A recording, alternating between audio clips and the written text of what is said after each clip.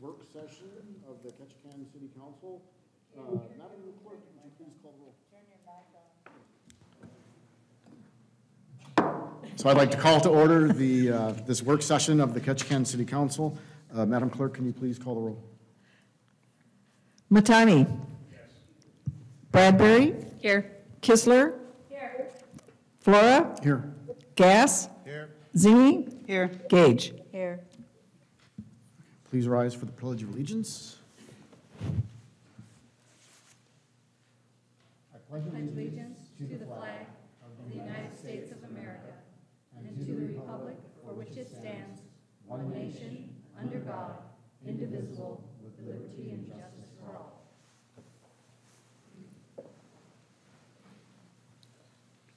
The Ketchikan City Council would like to respectfully acknowledge the traditional first people of this land in Ketchikan, the Tongass Tlingit people. Uh, We have no communications, and we have no persons to be heard. So we're going to go right into new business. We're going to first have an introduction by the Ketchikan Visitors Bureau, and then some presentations by some local cruise industry members. After each person speaks, there will be some time for the council to uh, ask their questions and comments. So with that, uh, I guess we're into the introduction by the Ketchikan Visitors Bureau. Thank you, Patty. Good evening, council members, and thank you very much for the opportunity. Um, I'm glad we were able to make, get this work session um, organized. We started discussing this back in uh, December, I believe, during budget hearings, and um, it took a little bit of shuffling, but city manager was very persistent, and she got us all scheduled in at the same time. Um, I'm going to keep my comments really brief because really, the point of tonight is to provide information to the council with regard to what is actually already happening in the cruise industry in Ketchikan, um, and giving you some information that will be helpful, I think, for you as you continue your discussion about how you're going to move forward in managing and marketing uh, the port. So um, I will just have a little bit of, of a presentation down towards the end of the evening, but really, um, it's all about these folks who have uh, taken time to come tonight and share their experiences, and, and I I hope it's worthwhile for all of you. So with that, I will thank you. Thank you. Our first speaker tonight will be Renee Limoges Reeve, Vice President of Government and Community Relations, Cruise Lines International, Alaska.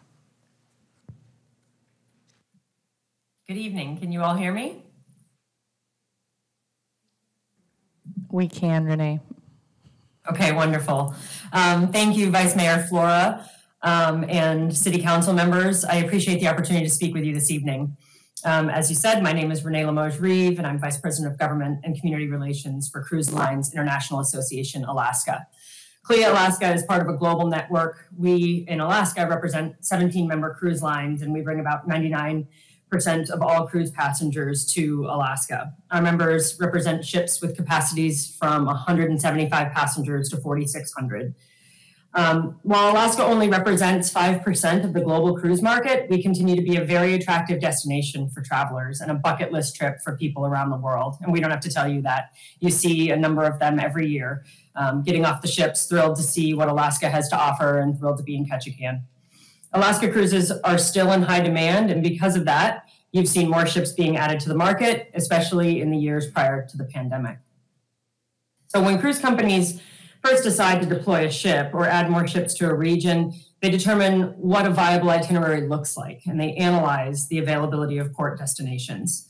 Lines will consider whether or not they feel that market can absorb another 40 to 50,000 guests, where that ship should come from or would come from, how long to, t- to get a new ship into the market, how it would impact current bookings if the extra capacity were lowered or, lowered or raised pricing, and what they feel their competitors might do. Is there dock space available? Is there enough shore X capacity for guests to have fun?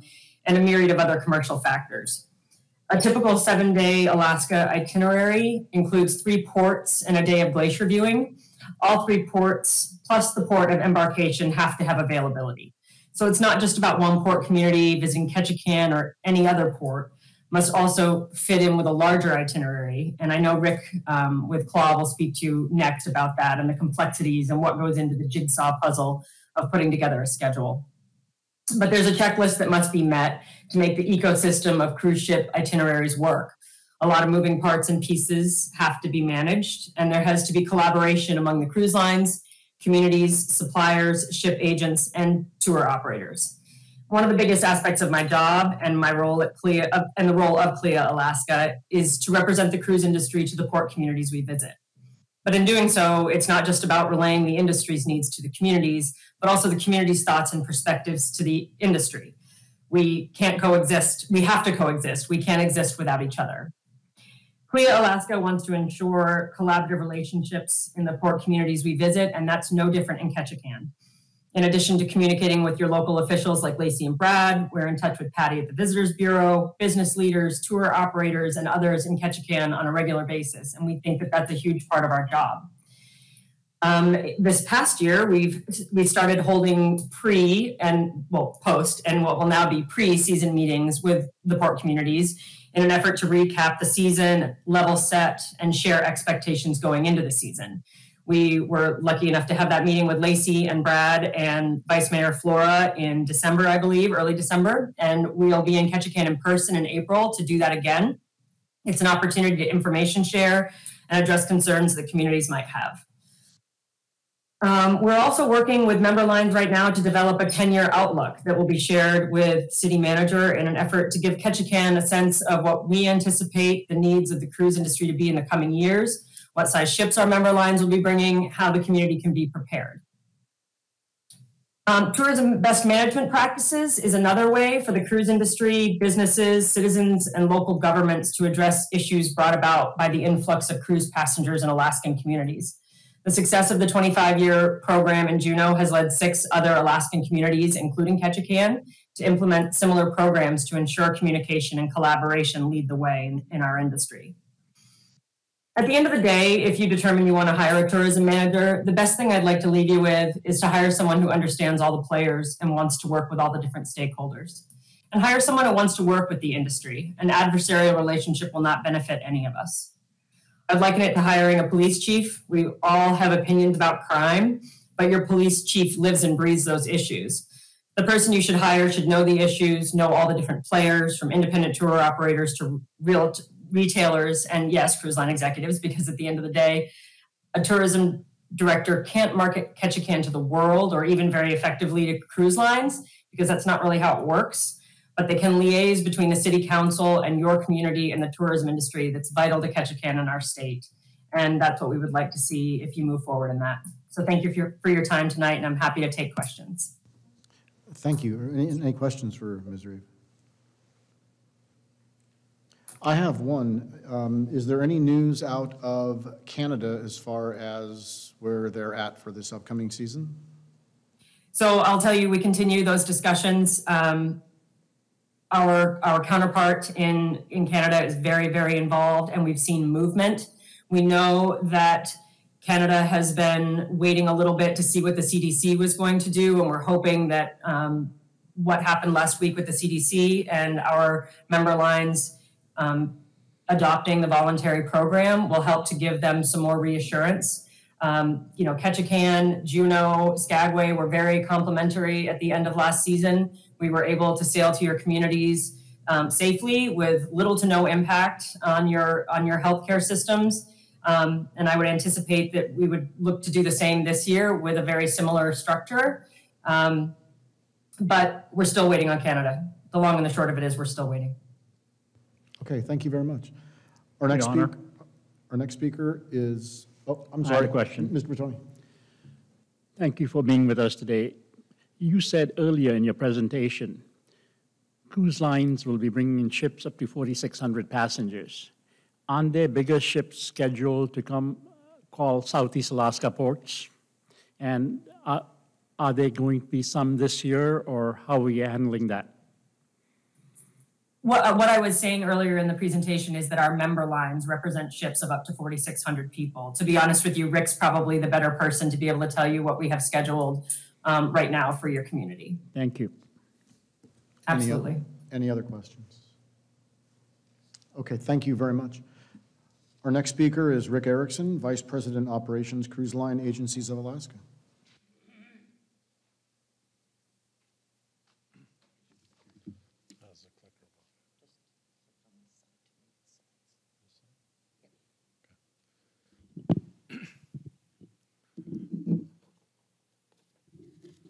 Uh, Good evening, City Council, uh, Vice Mayor Flora. Uh, First and foremost, uh, I'd like to take the opportunity to thank you for having me to speak with you tonight. My name is Rick Erickson.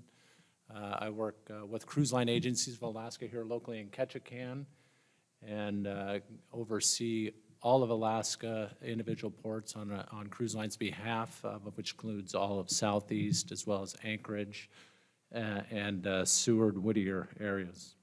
Tonight, I'm here to speak to you, uh, uh, to a couple of your agenda items tonight. Actually, there's four of them, one of which will be uh, itinerary planning and how ports are linked together for in planning and development. The other one is, is how we work with the new and interested cruise lines wanting to come into the market. And three, how our annual dock assignments determined and who's involved in those decisions. And last but not least is what does a ship agent do? Um, That could be a while if you want me to explain all of what a ship agent will do, but I will not do that in this case. And bear with me on this slide thing here, if you would, please. So when we, uh, in regards to itinerary planning, I think it's important to note that when we plan uh, for voyages in Alaska, more importantly, we just, we, when, in scheduling ships, we're not scheduling just for Ketchikan alone. Um, We plan region-wide uh, through southeast and up into southwest Alaska, which includes Whittier and Seward. Cruise line scheduling in Alaska is based on historic priority. Um, There are a number of things that are considered uh, when taking historic priority into consideration in scheduling ships, not only in Ketchikan, but throughout other ports throughout southeast Alaska, one of which is the number of years the cruise line has been operating in Alaska. Uh, To that point, I can tell you that each port is different. For example, Juneau's historic priority may be different than Skagway's. Skagway's may be different than in uh, Ketchikan's. And again, historic priority is based on the, uh, the number of years each of the member lines have been calling into the state of Alaska. That's how it's determined. Another important factor is the number of years operating in a particular port. Um, Again, each port is different. Skagway may be different than Juneau, Juneau may be different than Ketchikan. It all depends on how long uh, an invi- an individual, individual cruise line has been calling in that port. And then also, we get down into the traditional day of the week in which a cruise line and, and their vessel has been calling por- in, in a particular port. Uh, For Ketchikan, an example would be um, a celebrity on a Sunday having a particular ship in Ketchikan on Sunday, historically every Sunday. Uh, We take that into consideration uh, comparatively to that. If someone else wanted to move in on that day, uh, celebrity would have the, uh, priority on that typical day of the week. Typically, cruise lines uh, submit their schedules to us two years in advance. Uh, Here now, I'm beginning to receive 24 schedules. So we're looking roughly about two years out. Um, Once the maj- majority of the schedules we receive from all the operators looking at wanting to uh, operate in Alaska, uh, we, uh, we enter them into the schedule, of which at that point in time, we then begin identifying conflicts, not only in the Port of Ketchikan, but other ports throughout southeast Alaska. This slide here is, is, kind of shows you what we have available as it relates to berths as well as anchorages uh, throughout Southeast. And this is, uh, plays a major factor when we're scheduling ships in Alaska, and one, in knowing how many berths and/or anchorages are available us to, to place ships in each of the respective ports. So as you can see, Juneau has the four berths, one anchorage. Uh, Ketchikan now having six berths in one anchorage. Uh, This has certainly given Ketchikan an opportunity, as we all know, that some berths has, have opened up for us, based on the fact that, um, in- in speaking in general, downtown Ketchikan, with uh, the two new Ward Cove berths. And then uh, there's a list of other uh, um, uh, ports that have the number of ships that they can accommodate each and given day. I think it's important to note Here, if you were to look at Seattle and Vancouver, each of them have three, three berths. And that's an important key in scheduling cruise ships into Alaska because historically, Friday, Saturday, Sunday are to capacity in both Vancouver and Seattle, uh, meaning that in the middle of the week, we find in Ketchikan, Juneau, Skagway uh, are, are to capacity here. Once uh, conflicts are identified, we then uh, look at trying to figure out how we're going to solve those conflicts. Um, There are a few things that we take into consideration. I've listed a few of them here. Uh, There's certainly more, but um, bullet point number one, in the event of a berthing request is received from one or more cruise line for a particular day of the week, priority will be given to that cruise line that has historically called that day of the week. Okay, an example of that would be, let's take Thursdays where we have uh, two Holland America ships and two Princess ships in port that given day. If another member line, for example, RCI, looked at wanting to place a ship in Ketchikan on Thursday, uh, certainly they could, but it would either be at Ward Cove or at Anchor. So that's an example of historically where Princess and Holland have had two ships here on Thursday. Uh, No one else would, you know, we would look at filling either the Anchorage or Ward Cove on that day. Another bullet point that's taken into consideration is the berthing seniority rights for a specific day. It belongs to the cruise line, not necessarily the ship. So an example of that would be um, on Sundays, if we have the solstice calling uh, Ketchikan on Sundays, um, and they elected to replace the solstice with another celebrity ship, celebrity would still have priority on that day, on that Sunday. If more than one cruise line is requesting the same day of the week, of which neither cruise line has, has historically called on that day, priority would be given to the cruise line that, with historic priority. An example of that would be, for example, if you had Princess and Holland America, which typically have never, or say, for example, typically haven't called on Saturday, each of them wanted to call Ketchikan on a Saturday, priority would be given to Holland America on that day, just based on the fact that historically they've called Alaska, more importantly, Ketchikan, longer than Princess.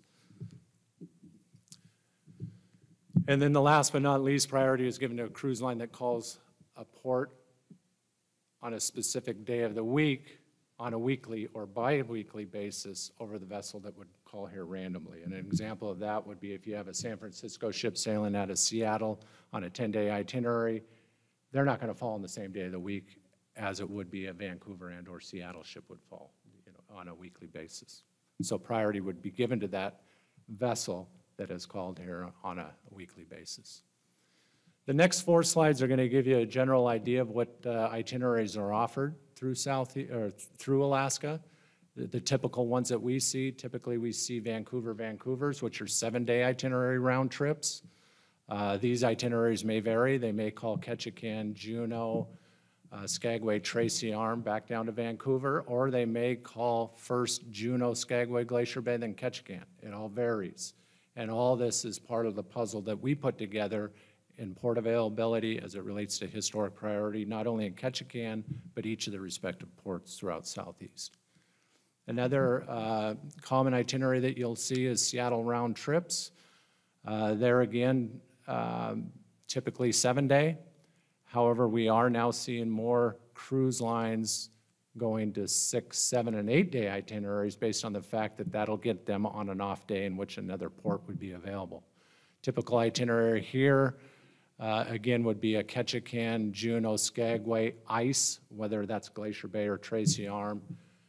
The important thing to note here is that obviously, as we all know, or maybe you don't know, but those ships that call Seattle that are on a closed loop itinerary, which is Seattle, Seattle, have to call Victoria, have to call a foreign port. So typically what you'll see, although you'll, uh, you'll see that a Seattle ship would go Juneau, Skagway, Glacier Bay, Ketchikan, the port call in Ketchikan is limited to only about a six-hour call from six to thirteen hundred because they need to take that, uh, they need to call Victoria prior to getting into Seattle. Another alternative, another example of a northbound itinerary, you could do Ketchikan, Juneau, Tracy Arm, same day, Skagway, day at sea, Victoria back into Seattle. So all this goes into play as it relates to juggling the ports, not only with Ketchikan, but also Juneau, Skagway, Icy Strait, Sitka, whatever that may, that may be. And last but not least, uh, well, I shouldn't say that because there's one other after this, but you have your Vancouver to Anchorage, which is either Vancouver, Whittier, and/or Seward, and we refer to these as the open jaw itineraries. Typically, an open jaw itinerary would be Ketchikan, the first stop, Juneau, Skagway, Glacier, uh, Glacier Bay and/or Hubbard Glacier, depending on, depending on whether the cruise line has uh, permits to operate in Glacier Bay, and then Seward. The important thing to note here on this itinerary, uh, as it relates to priority in each of the individual ports, is a northbound itinerary, for example, if a ship's departing out of Vancouver on a Friday, they would call Ketchikan on Sunday. Of course, now, when they get to Seward, it'll be another Friday. These are seven-day itineraries, and when they get to Seward, on their return trip, they would be in Ketchikan on Wednesday. And historically, the way these work, that that ship, that member, that line calling both northbound and southbound would have priority, uh, not only in Ketchikan on Sunday and then on their northbound, but also in Ketchikan on their southbound, southbound itinerary on a Wednesday. And this is another example of an itinerary we see, and this is a, uh, typically a 10-day out of San Francisco. And it's important to note here in that when you're on a 10-day round-trip itinerary, you're not going to fall in the same port on any given day of the week. And so here we have the flexibility of doing uh, San Francisco, Ketchikan, Juneau, Skagway, or at times if Ketchikan's not a viable option on the, on one particular day, they can make that run from San Francisco to Juneau. It's a two-day at sea, and then the next day would be either in Ketchikan or Juneau. So we have a little bit of flexibility depending on port congestion and other ports to, to manipulate this itinerary to make it work. Uh, The next uh, topic of discussion is uh, that I think it's important to know that uh, are any cruise lines excluded from this process? And um, I think it's important, here it's important to note that obviously there's other cruise lines that may look at wanting to come into the market. Uh, Are they excluded? Absolutely not. Um, uh, CL, we cruise line agencies work cooperatively with many of the cruise lines, look at placing a ship in the Alaska market. Um, We work closely with deployment and their operation teams deter- to determine whether or not Alaska would be a viable option, okay? This isn't only true for any new cruise line wanting to come into the Alaska market, but for the existing ones that are already here. And, uh, and that means if they're looking at bringing an additional ship, a bigger ship, a larger ship, we spend uh, a lot of time working with their port ops people, even ship development people, uh, as it relates, some of the things that we look at, the first, the most important thing that we look at in working with them is whether or not the ship fits in Alaska. You may say, well, what do you mean, does it fit in Alaska? Well, uh, the infrastructure that we have shoreside, the facilities that that ship ties up to, we need to be able to make sure that, one, uh, the, the docks that we do have in place are capable of accommodating that class ship. Um, They ship characteristics, whether or not we have overhanging lifeboats, uh, anything that sticks over the side of the ship that may impact the ship from not being able to call Alaska. Those are all the things that we look at. Um, An example, a couple of example that would be important to note is Disney Cruise Line. When they looked at coming into the Alaska market, we worked with them for five or six years before they even ended up placing a ship in Alaska. So, um, Another member line was looking at replacing an additional ship, uh, or an existing ship in Alaska with another ship. When they showed us their plans as to whether or not they can bring that ship in the Alaska market, it was determined that they had overhanging lifeboats that wouldn't fit not only any dock in Ketchikan, but anywhere in Juneau and/or Skagway, or any port within Alaska. So we were, we were able to work with their team and be able to draw their lifeboats up inside the hull of the ship so they wouldn't extend outside the ship to where, again, we could accommodate them in Alaska. So there's a lot of things that we do as cruise line agencies, one in marketing the, not only Ketchikan, but the region of Alaska And certainly when, any time that we're visiting on our customers, we're always looking for the new guy. Uh, We've had conversations with MSC for the last 10 years, trying to work on itineraries to get them up here. We've had itineraries in place for them to come, and uh, they just, at this point, haven't, haven't pulled the trigger, and we continue those negotiations. And, and I think the important thing to note is uh, anytime that any cruise line wants to come into this market, you know, uh, we work cooperatively with them in making sure that they, uh, that they get the ship in, into Alaska. And there's a lot of other things other than outside the characteristics of the ship as to whether they can get alongside. We have environmental issues we deal with, uh, regulatory issues we deal with as it relates to holding capacities of gray and black water, uh, right on down to smoke emissions and everything else. I'll try to speed this up because I know Kari's chomping at the bit to get up here, so. Um, This is another uh, thing that, uh, that I think that we often get asked the question is, how are annual dock assignments determined? Um, Well, I've already spoke a little bit about how we get a ship into the Alaska market and to the characteristics of that ship and whether or not they even fit not only here in the Port of Ketchikan, but Juneau, Skagway, Sitka, or any other new berth that's built throughout uh, Alaska. Uh, So ship characteristics such as size, length, location of gangway, access points, uh, and even right on down to mooring lines. Where are we going to place the ship, uh, mooring lines uh, once in and alongside?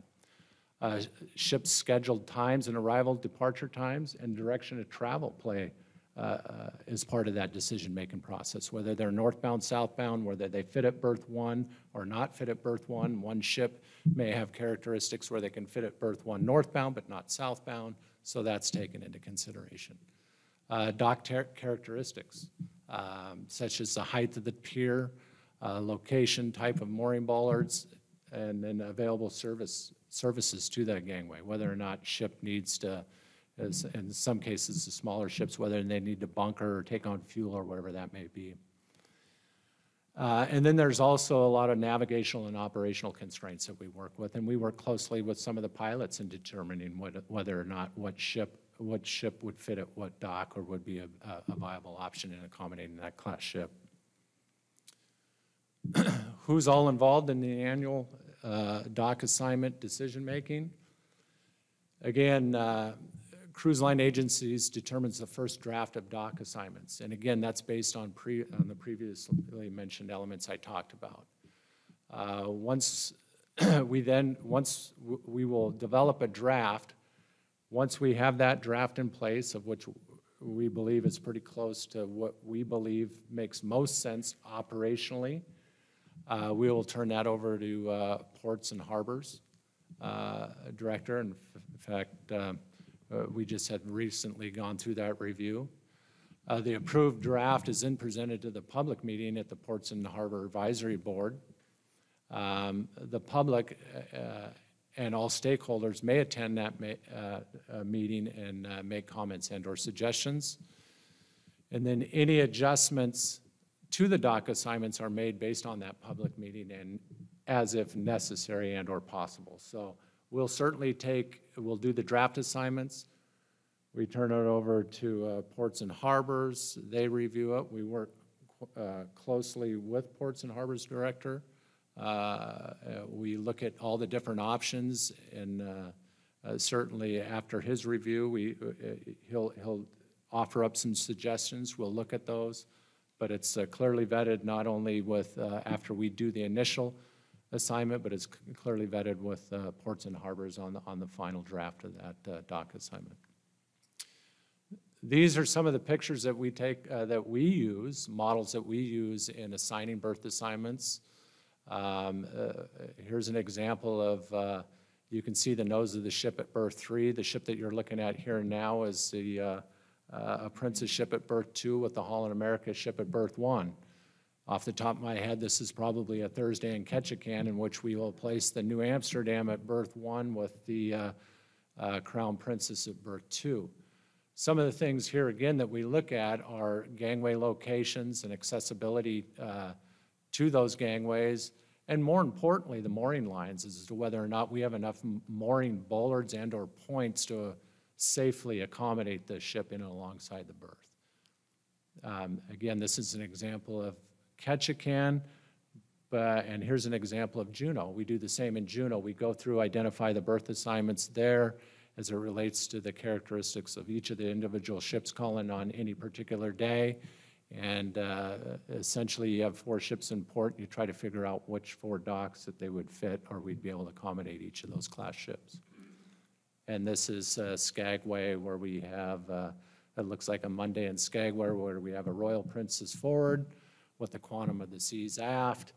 Uh, I, you can look at the distance between the two, you're looking at about 15 to 20 meters, anywhere from 50 to 60 feet. If you've ever stood on a bridge of a ship and looked down at the nose of the ship you're standing on, in comparison to the ship that's in front of you, you think, oh my God, we're touching it. It's, it's pretty close, but anyway, there again, you see the mooring points that, uh, that we design. We share these with the masters, we, um, uh, of the ship, uh, the day before their arrival, so they have a pretty good idea of where, where the mooring points are on those ships. Last but not least, I'll talk a little bit about a- what a ship agent does. I get asked the question all the time. Um, And I think I can summarize it really in one sentence, in in that uh, we provide shoreside support for any cruise line that calls not only the Port of Ketchikan, but any community throughout southeast Alaska. Um, Here are some of the things that we're involved in, in in a chronological order. We talked a little bit about uh, statewide scheduling, we do that. Um, uh, Prior to ships coming into, the- into uh, Alaska, we make sure that uh, we go, that they're, fill out all the environmental registrations, the liquor license, the business licenses. We work cooperatively with the sea pilots on scheduling as it relates to timings in and out of port. Obviously, we provide them the schedule, and we work cooperatively with them and uh, uh, in coordinating not only where we put the pilot on, take the pilot off, we schedule the pilot boats. Once the ship's in alongside, we work closely with Customs and Border Protection to enter and clear the ship. Uh, We work cooperatively with uh, AMAC Towing and uh, through tug coordination as to whether or not tugs need ships. Uh, We board rangers in Glacier Bay. Uh, We coordinate the longshoremen of tying up the ships. And more importantly, we do all the crew transfers, medical evacuations, emergency traveler assistance. People that miss ships, we'll take them to the airport. And if the captain wants Charmin toilet paper, we'll go get Charmin toilet paper. So in a nutshell, it's uh, uh, essentially, we, again, we just, any demands that uh, are required by the line, once they're here, we're we're here to accommodate. Thank you, and if you have any questions, I'm more than happy to answer. I know that's a lot, it's kind of a high-level overview. If any of you ever want to stop by our office and have an in-depth conversation about scheduling, I'm more than happy to. Thanks, Rick. Any questions? I just wonder, is there a copy of this presentation somewhere that we can go back and refer to it if we want to? Absolutely, I have one sitting over here on my desk. so, Excellent, thank yeah, you. A hard copy, and we can probably send you a pretty one uh, on the, I'd like the pretty one. you one. want the pretty one? No problem. Thank you. And again, I- it's a lot, and at any time you guys have any questions, our door's open for you guys to stop by anytime to where we can further explain the, the- this process. Because that's half of it. Ms. Bradbury, and then Mr. McClellan. Thank you, Rick. I appreciate the presentation. Um, So one, one concern or issue you hear a lot from the citizens is why does Holland America have to be at Dock One when we have this beautiful, gigantic ship sitting out in Anchorage and that historic berthing doesn't necessarily benefit everyone in our community, even though that's how, how it's done. Um, the question is, can Ketchikan get away from historical berthing in, specifically just in Ketchikan? Or is it something that has to be done on a much larger scale with all of Southeast Alaska? I think you need to be careful when you ask that question, because I think my response to that would be that you have to remember who buttered your bread, and that you have a Holland America and/or a Princess and some of these guys that have been calling here since 1980 and are instrumental in building the infrastructure in this port, know, a- as it relates to the number of years they've called here, but actually, I think it's really a model that's worked here in Alaska, um, historic priority. Um, I've heard a number of lines say that uh, they wish that this model was, was used elsewhere. Um, To answer your question, as it relates to berth assignments and how they're allocated, again, a lot of that is based on the characteristics of the ship, of where we get passengers on and off. Uh, Two, the, the size of the vessel. Uh, For example, um, I hear a lot that, you know, why do only the larger class ships go to berths three and four? And, uh,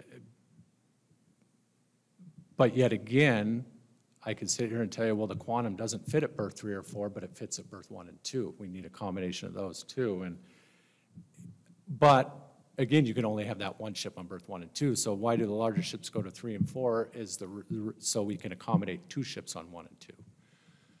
Um, I, I think it would probably, I mean, that's a tough knot. I, I, I think, I think on a, a conversation would be had as to whether or not, i- if what you're asking to take a Seven Seas Mariner and put it along, uh, why it's alongside a dock and while a larger ship is at anchor.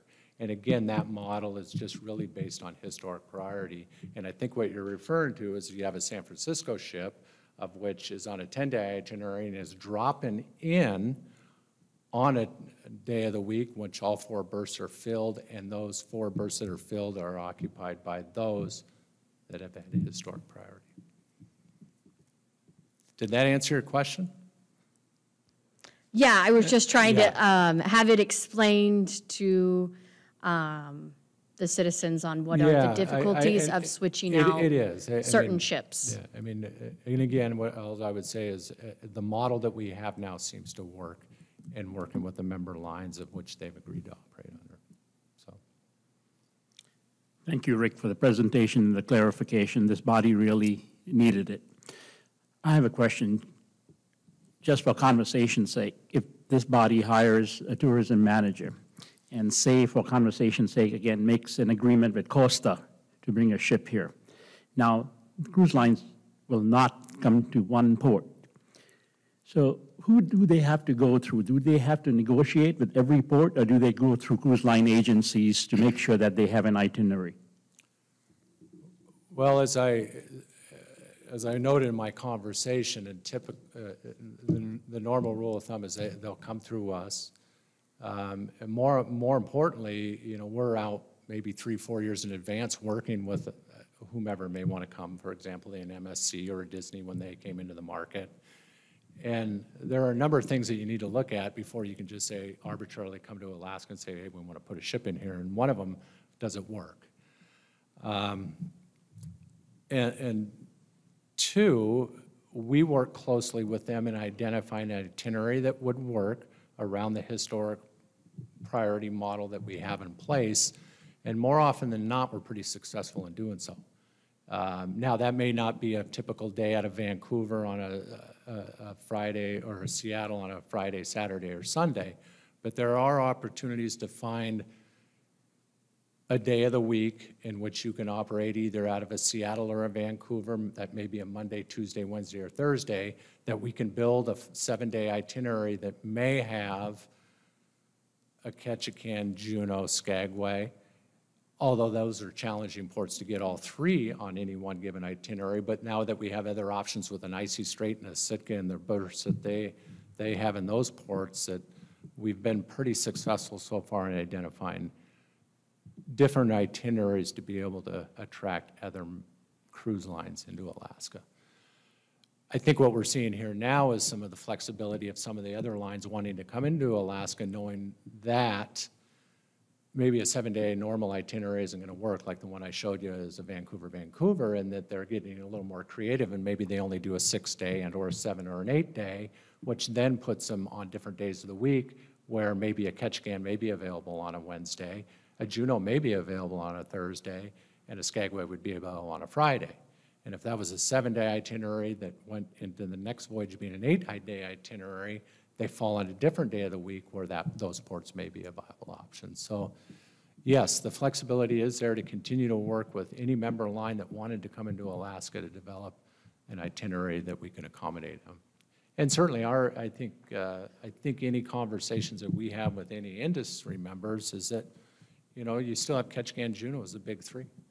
I mean, that, a- along with the glacier, uh, that's what an itinerary is going to look like in a seven-day. And so how do you fit all those, those three ports and/or whether or not, if one's not available, maybe Sitka and Icy Strait?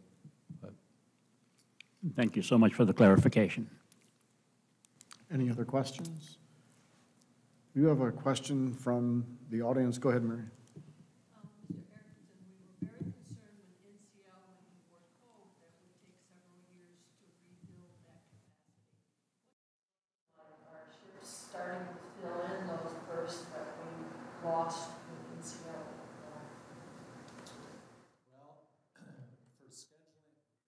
Thanks for the question. Uh, uh, For scheduling ships in Ketchikan, it has made my job a whole lot easier, I can tell you that.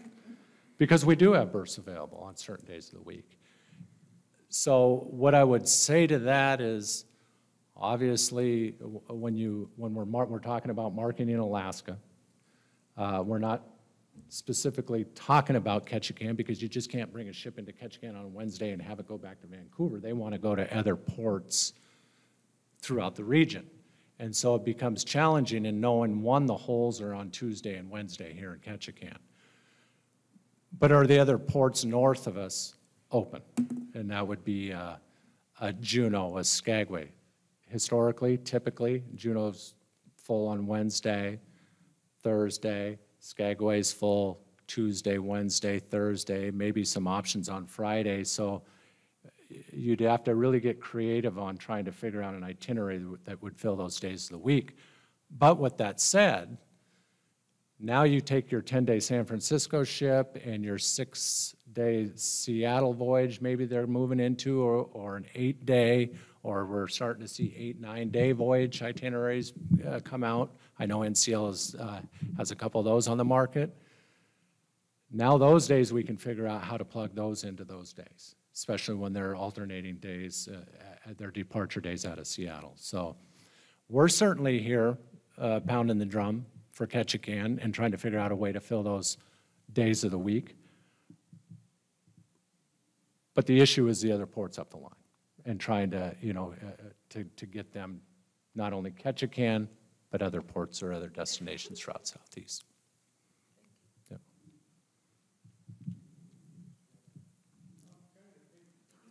Kind of piggyback off of that question, I think that raised an interesting point, but it seems that Sitka now being more equipped, is there potential that, say, with those open berths here in Ketchikan due to the loss to Ward Cove, is there potential where flexibility to work with, say, rather than having to try and squeeze in Skagway and Juneau, to go like Sitka and Juneau, or, or is it, See what I'm getting at? Is there more flexibility to go to those other ports? or- Yes, absolutely. And having Icy Strait with two ports, having Sitka now adding two berths, keep in mind Sitka has, has always been able to accommodate four ships at anchor. So Sitka was always a viable option on any itinerary that you wanted. But now that they've added the two berths, it becomes more attractive. And so, and Sitka's has had their historic calls as well. Um, There are some ships that call Sitka that do not call Skagway. Um, So yeah, it certainly opens up the opportunity to be able to attract a ship here in Ketchikan on a particular day of the week, and then maybe the following day in Sitka. The problem that we're dealing with, if Ketchikan's two open dates on Tuesday, Wednesday, guess, if they called here Tuesday, guess what? Sitka, Sitka's berths are full Wednesday. And a lot of that has to do with the deployment during the weekends out of Vancouver, Seattle, filling up the midday weeks. Did that answer your question, Riley? Yeah, I was just curious, thank you. Any other questions? Oh. You? Earlier in the presentation, um, you were talking about historical berthing and why that's important, because the folks that get historical berthing are the people who helped um, basically build this industry. Do they pay for that? Do they pay for the opportunity to have historical berthing? No, it's just a practice that's used, that, that we've used uh, uh, ever since I've been here with this job. And And then- and Judy, I will- I'll tell you, you know, the historic priority probably originally started with Glacier Bay, in that when Glacier Bay opened up uh, for permit, you need a permit to operate in Glacier Bay. Right. And only certain cruise lines had those permits at the time, I believe were Princess, Holland, um, NCL, and I don't believe RCI at the time had them, they may have, but that kind of dictated the day of the week in which those member lines could call there on a specific day. And, and this model was here well before I got here, and I, I think over a period of time, that was just the model that industry agreed to work with on the historic priority date. And again, uh, we have a list of Ketchikan, Juneau, Skagway, and on that list, I have each of the members' lines where they've, where their priority is in that particular port on any one given day. So for example, um, Holland America and Princess, since they've been calling here in the mid-seventies, maybe even sixties under Sitmar days, if you want to go that far back, but if you were to look at Ketchikan and Juneau and Skagway, I could tell you that Ketchikan and Juneau, and I'll just list the first two, would be Ketch, uh, would be Princess and Holland, or Holland America Princess and Holland America Princess in both. However, in Skagway, uh, Holland America didn't call Skagway, so in the pecking order for the uh, historic priority in Skagway, I believe Holland is actually fifth, because they didn't call Skagway, they actually called Haines. So once they moved into Skagway, they then got in, uh, in line for port priority for the Port of Skagway. Okay, I guess I'm trying to, um, as I recall with the RFP, there was something called preferential berthing. And I'm trying to figure out what's the, it sounds the same to me.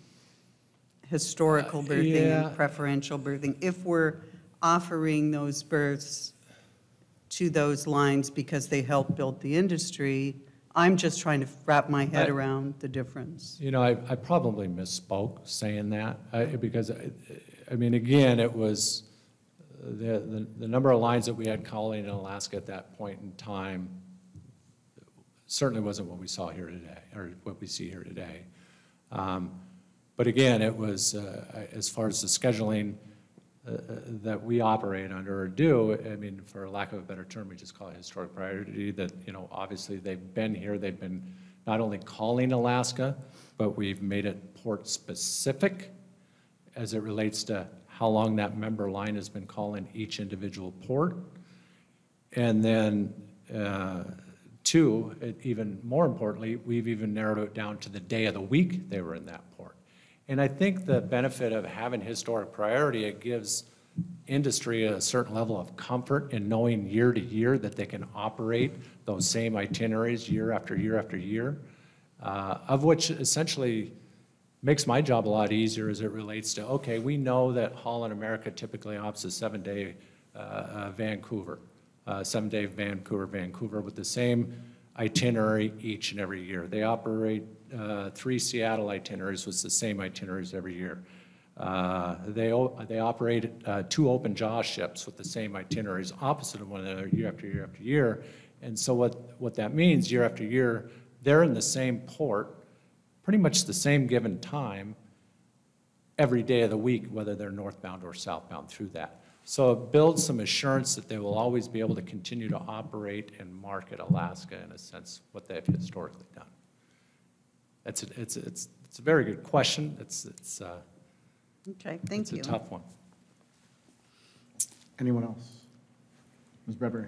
I guess to piggy off, uh, piggyback off of uh, Councilmember Zenge's question is, you know, we've, um, through the RFP process, a lot of cruise lines themselves talked about, you know, don't give out full port management, but let's do preferential berthing.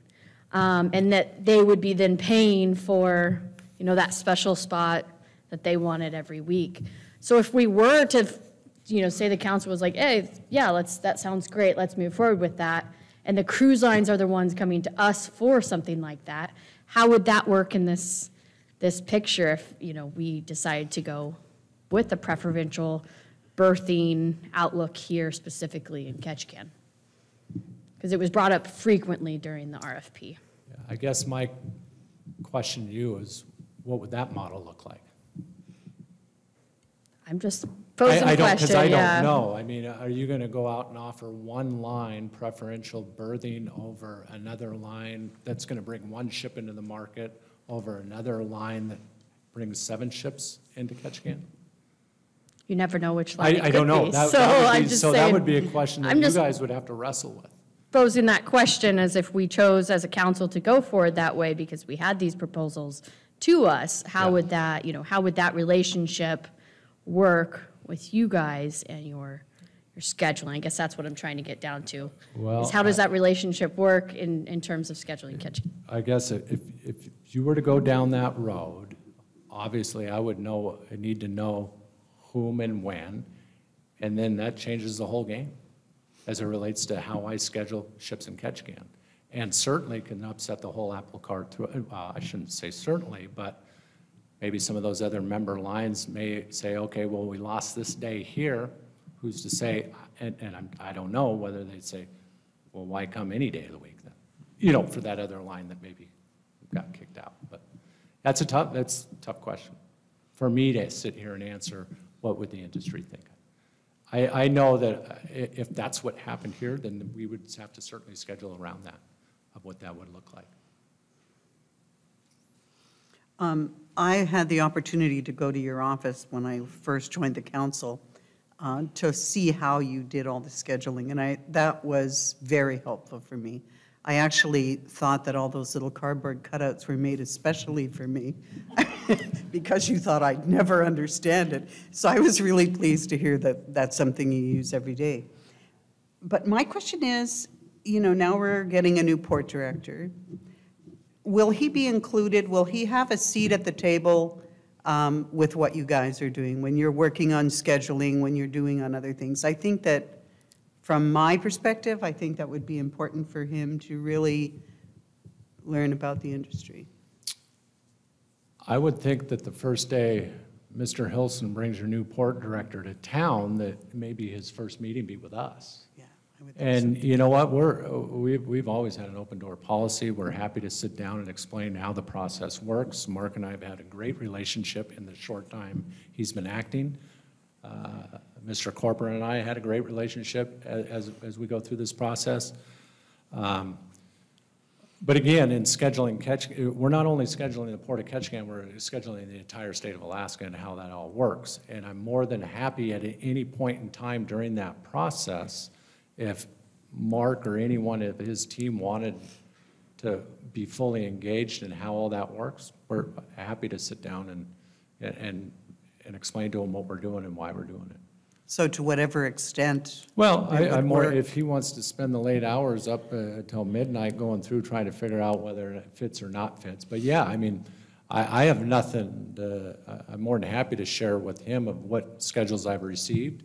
In fact, I'm more than happy to sit and, uh, at, at a point in time where we get all the schedules and we print all the ports out, the way it works is I'll print Ketchikan, I'll print Juneau, I'll print Skagway, I'll print all the ports, and I'll see that I have uh, seven, eight ships in Juneau. And it's like, okay, what are we going to do with this? I mean, we have, uh, we, obviously, we have a conflict because Juneau can only accommodate four ships on any one given day with one at anchor. But it's pretty easy to identify, again, based on historic priority, who was called there before because you see a lot of the same ships as I just earlier spoke about. You're having the consistency of each, each and every year, those ships calling that particular port on any given day that, okay, we're going to see the Royal Caribbean, Celebrity, Princess and Holland here this day, and then we have these oddball ships on different itineraries outside the norm, well, we need to then go work with them to figure out an itinerary that would work, not excluding Juneau or Skagway or Ketchikan or wherever that conflict will be, but how we, how can we change that port rotation to make it work for that individual ship?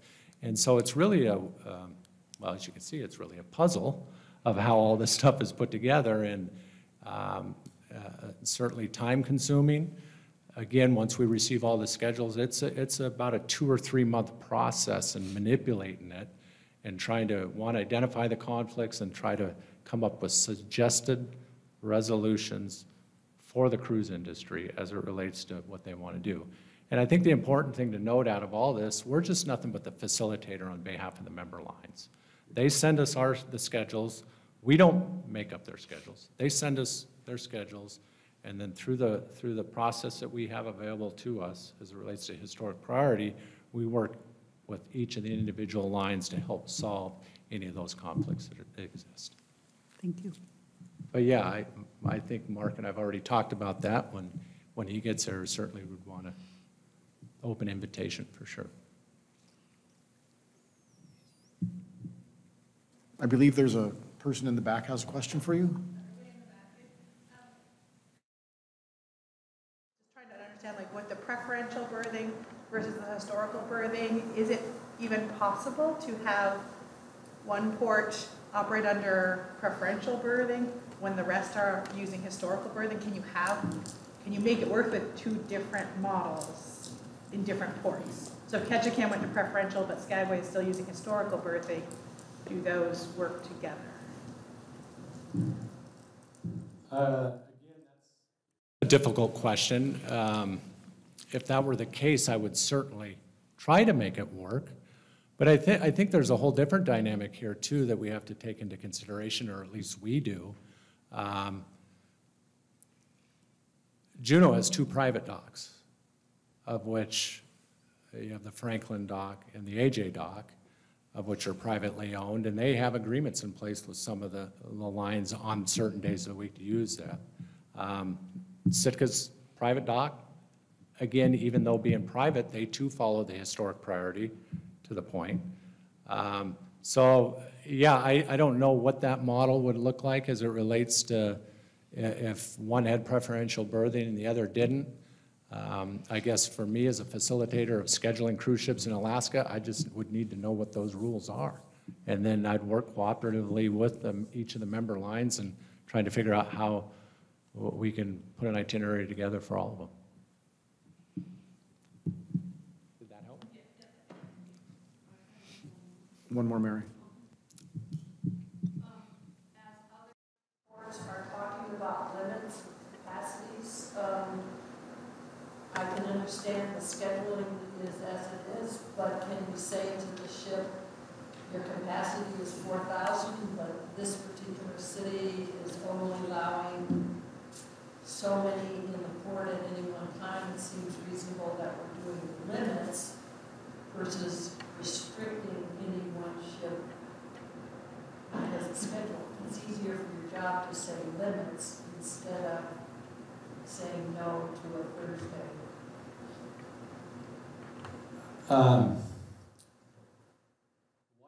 Hey, I, I, I've- never been one to say, no, you can't come. And two, if I can get you here, we're gonna get you here. Um, The second point of that question is, I'm not aware of any limits on passenger capacity. Again, I, I'm not aware of any limits or restrictions, but if in fact they were to limit, whether it be five ships a day or a number of passengers, that's something or if Ketchikan elected to do the same, that's something that we would, as industry, would have to obviously take into consideration and figure out how we're going to massage that schedule or determine how we're going to get to meet that passenger number. Um, But I can tell you, uh, I'm going to schedule ships in the port of Ketchikan to fill your berths to, to capacity if I can, unless I'm told otherwise. I mean, really, if I, if I know that the ship wants to come to Ketchikan and there's a berth available, it's coming to Ketchikan. That ship, the next port is gonna be Juneau that says we have a limit on capacity. Well, where are they gonna unload a thousand people from Ketchikan to meet Uh, I- if, if that was the case, Mary, I think what would ultimately happen, we'd take the ship here in Ketchikan, and if Juneau didn't want them, we'd find another place for them. I don't know, I mean, maybe you go to Sitka, maybe you go to Icy Strait. Unless what you're saying, that if another port, and I don't want to specifically point out Juneau here at this point, says we're not going to take a ship that carries any more than 3,000 people, then we're not going to, we're not going to take a 3,500 passenger ship here in Ketchikan and unload 500 people here in town to send them to Juneau.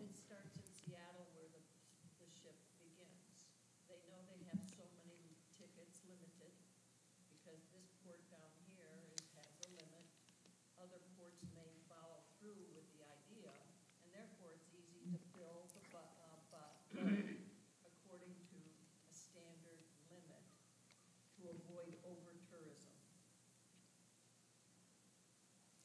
Yeah, I, um, I guess what I would say is I, I'm, I wouldn't think that the cruise line would limit the amount of passengers that they would place on their ship. I think their goal is to, obviously, they have a lower berth count of passengers that are, that it's designed to carry. I, I would think that the cruise lines would continue to market to fill their ships. Um, If there is any, if there was any port that wanted to limit capacity, uh, the number of passengers in port on any one given day, any one given week, or any one given year, then we'd have to, we'd have to uh, massage the schedule to accommodate. And I'm not sure how I'd go about doing that, but, um, but I- I I would, I would say we cross that bridge when we get there, if it happens. Any other questions for Mr. Erickson? Okay, thank you, Rick, very much. Yeah, Appreciate it.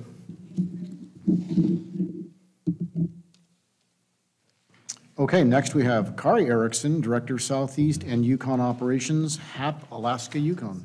I need to pull this down from the Jolly Green Giant, anyway. Very good. My total of five-four, not five-three.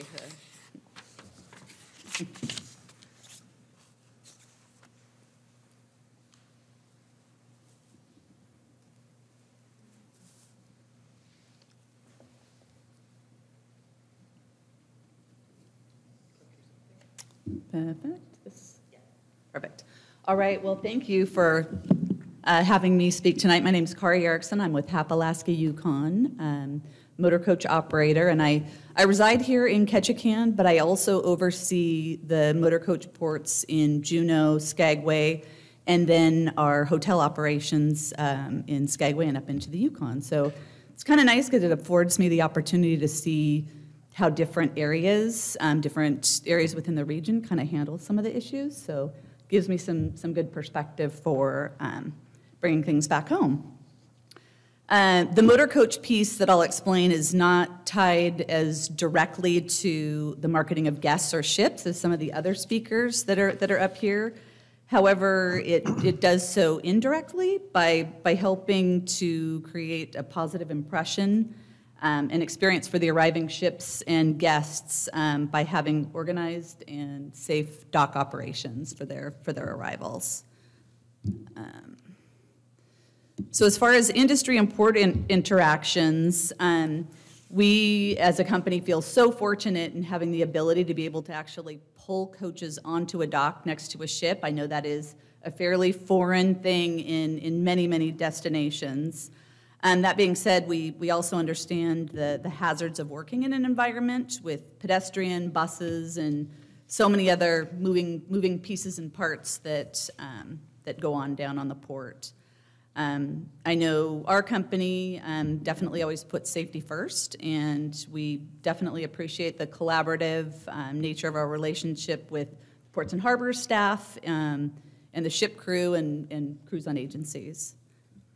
Um, we have a, a, a dedicated staff um, that work each of the ships that we service, and essentially they act as a liaison between the onboard shore excursion staff, um, many of the local vendors, and then our own coaches that we bring down as well. Um, these, these individuals are in radio communication with each of the coaches and also work with the onboard shore excursion team to ensure that the buses are staged and ready to go at least 20 minutes before uh, the guests come off and are ready to, to, to get onto their tours.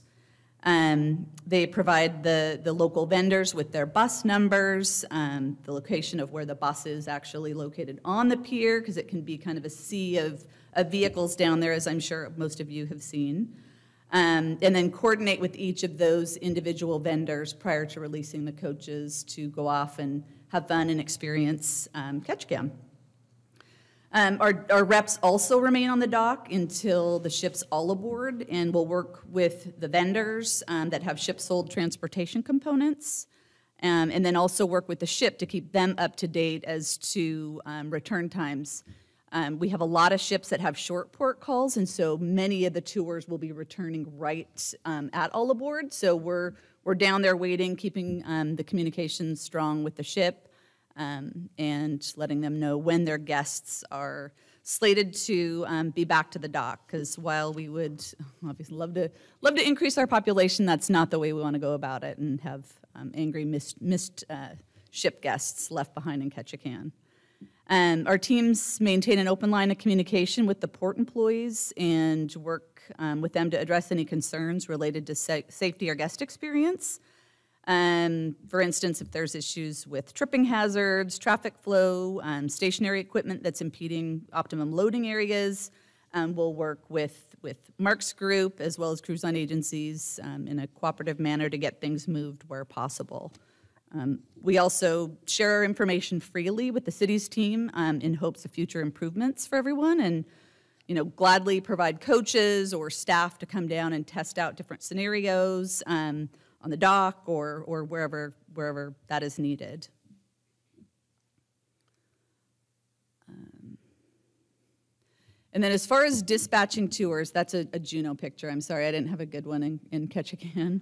Um, but to, to start at the beginning, when a cruise line decides to um, come to Alaska, they will typically select a primary transportation um, company to work with, along with a multitude of other, other vendors, um, ranging from fishing to zip lining. And if the vendors who own or operate a, a given tour don't have their own transportation, then they will seek out that um, primary transportation provider and ask them to provide that service for their guests. So um, that happened in Alaska Coach Tours. Um, buses that you see running around on the on the um, roads are not necessarily just our own um, transfers or tours. It's we're we're providing transportation for many many local um, operators in town. Um, the individual vendors themselves will provide their, their departure times and capacities to the ships um, to sell in advance, and that has gone out, gosh, I mean, it used to be every, you know, six months prior to the ship's call, we'd be looking at giving them um, times. Now they're up two to three years in advance, so they really, really are expanding that, um, that window. It's, it's insane. It's hard to wrap your mind around.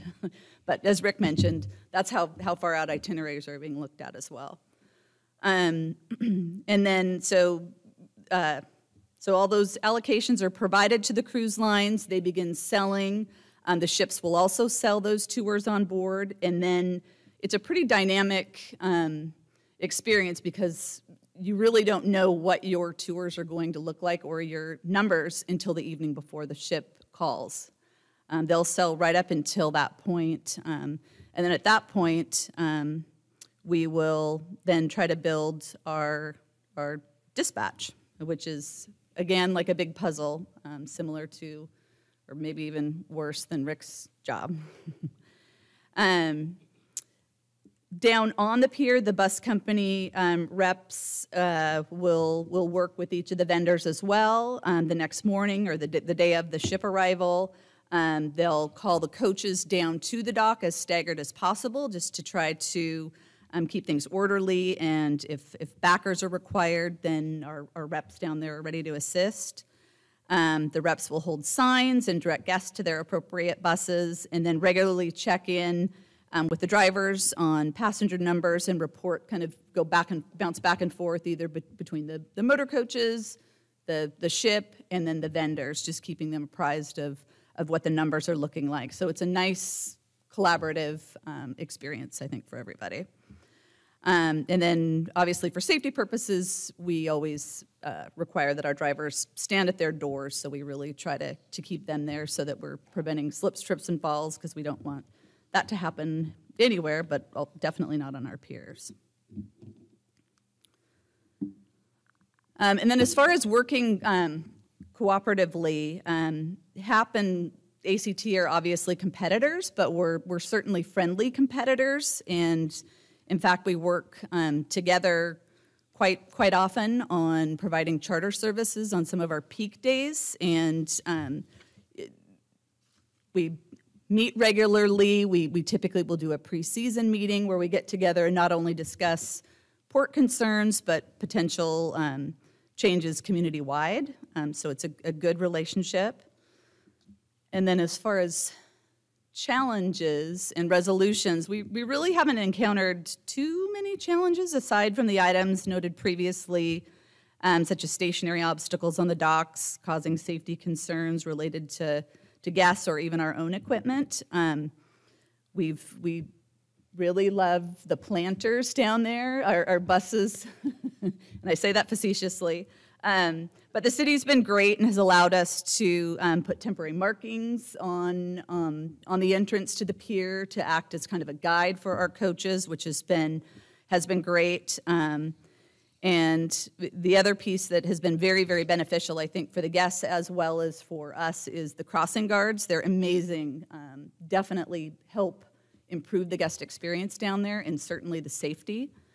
Um, and then port security has been very helpful in addition to that with um, dispersing, helping to disperse crowds on the piers um, that, you know, they all come off at once, obviously, and everybody's anxious to get out on their tour and at times can spill out into the throughfare. So we appreciate the port, um, the port security guards' um, assistance out there, kind of keeping keeping people a safe distance away from from the moving vehicles.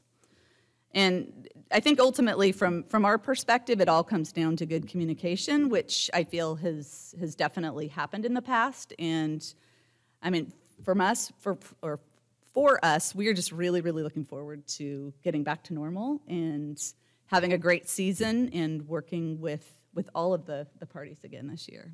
So yeah, so thank you. Thank you. I think I'm going to Yeah. ask the first question. Yeah.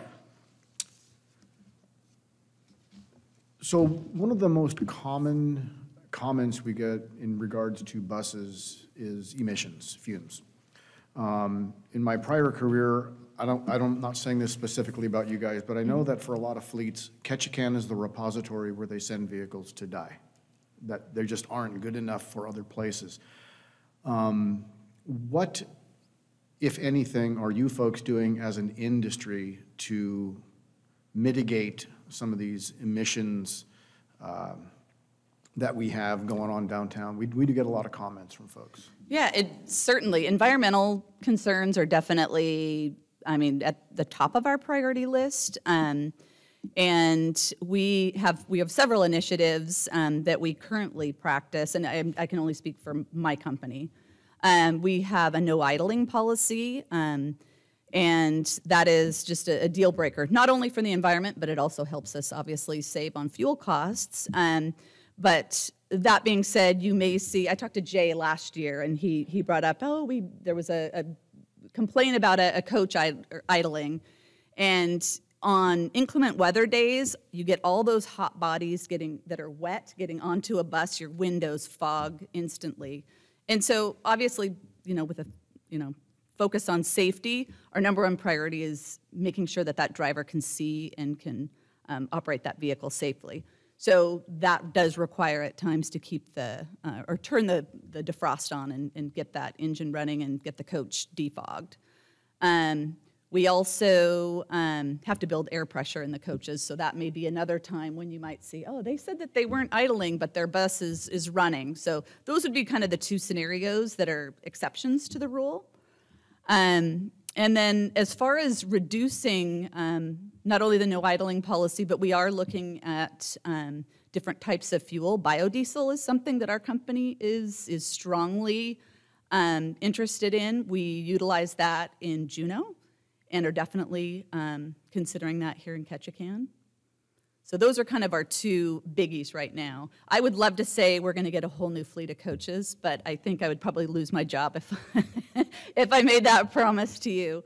Um, and and I will I will point out Ketchikan, while it may have older equipment, it's not necessarily that they they come here to die. It's we run far fewer miles than a lot of our counterparts in the other areas of the state. So you need newer equipment that can run the, go the distance. Um, I'd like to say we have the best mechanics in town too, so um, they're able to keep some of the, the older coaches up and running, which we, we certainly appreciate. Thank you. Other questions? Lallette and then Abby. So there's a lot of money out there for electric infrastructure right now, and I'm wondering if there's any kind of incentive um, that uh, you would take advantage of to maybe start adding some electric buses to the fleet, especially for the ones that are going to have to be right in the downtown. Yeah, and my, that, ma- the maintenance side is definitely not my exact area of expertise, but our maintenance group definitely is looking at options. I do know that electric coaches are outrageously expensive and may not be the most reliable from what I've heard, um, but definitely that is something that our company is, is researching.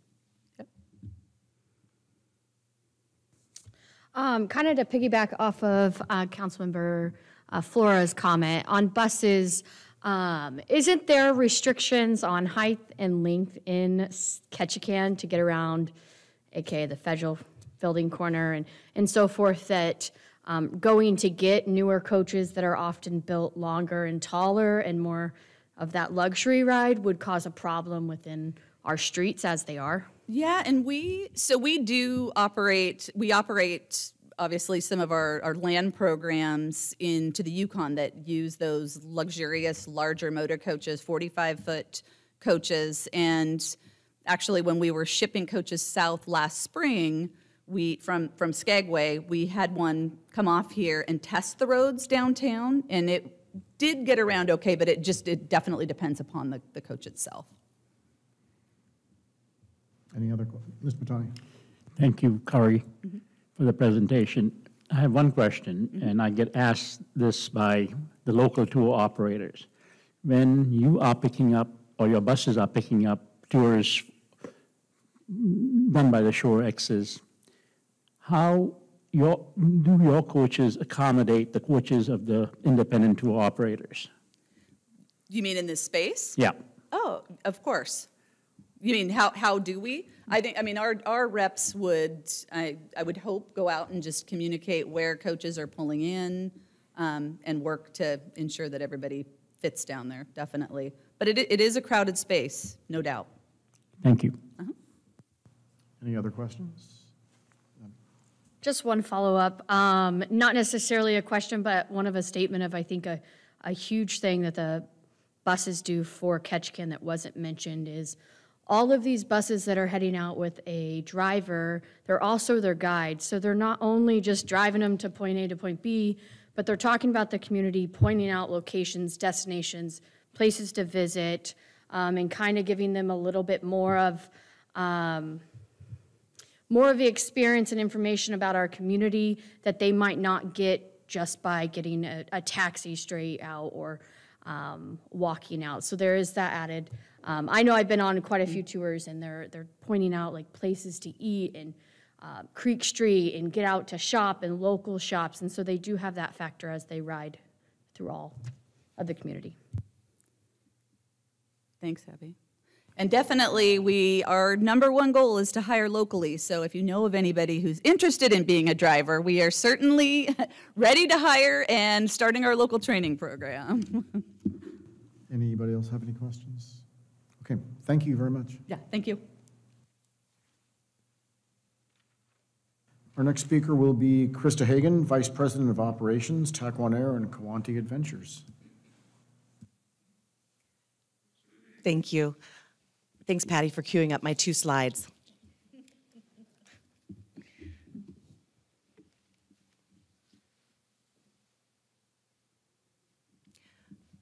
Thank you, Vice Mayor Flora and the City Council members. My name is Krista Hagan. I am the Vice President of Operations for the Alaska Rainforest Sanctuary, also doing business as Kawanti Adventures. That is the South End Herring Cove property where we do bear tours, zip lines, and walking tours.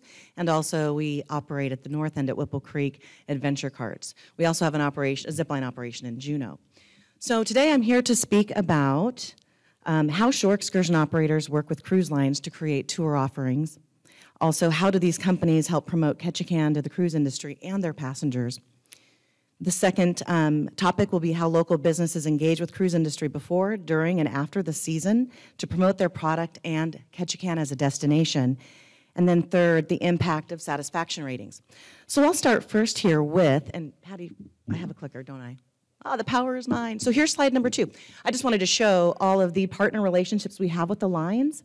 Um, we're very busy and we appreciate it. Kari mentioned we're looking forward to 2022 to get back to normal operations. In my um, 15 plus years in the industry, I've never seen a gap in operation. So it was something to, um, to navigate around. So, um, and I also want to, you know, emphasize that we too are looking for uh, local hires. Um, so we will be working with the KVB on posting those opportunities. Um, so please help us uh, spread the word on that. Um, so starting with shore excursion operations and how do we work with the cruise lines to create um, to create excursions, and that really is to um, to me. So pretty much, I think what we are our legacy business with the lines. We started in the early 2000s and um, worked with the lines at, at the beginning to determine where is there a gap in providing an excursion opportunity and how do we best represent Ketchikan and all we have to offer in the Alaska experience. What the cruise lines are looking for are wide open spaces. They're work, looking for cultural experiences. Um, they look for what, what, what are the local experiences in food and beverage. And also um, they're looking for wildlife. So we look at, and adventure. Uh, so what is the customer looking for and how can we supply that, um, that experience? Once we assess that, then we start vetting opportunities and, and adventure options, if you will, or um, on the, uh, the flight seeing side, I should say, I also work um, for the business development side of Taquan Air. Um, is we look at where, what, first of all, what would be our impacts to the environment and to the locals. And then we also do a cost benefit analysis on any type of um, tour infrastructure that we'd be putting in place.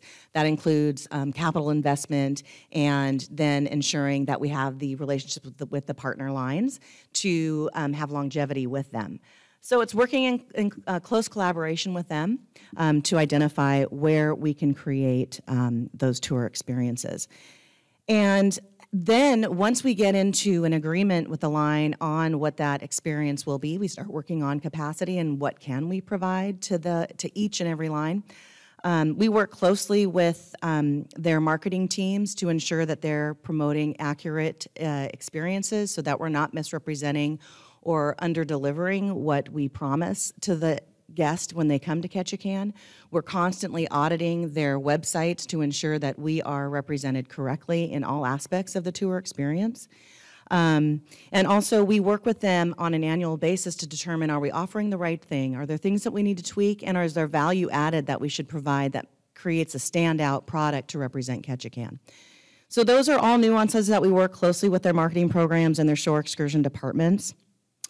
Um, so, the way we work with them preseason is we do assess our agreements annually. Some, we do have a couple lines where we have multi-year agreements, but we address those. We look at, um, we have to look at what our, um, any cr- increases happen. This year, inflation is incredible, so we are looking at those impacts so that we can be sustainable.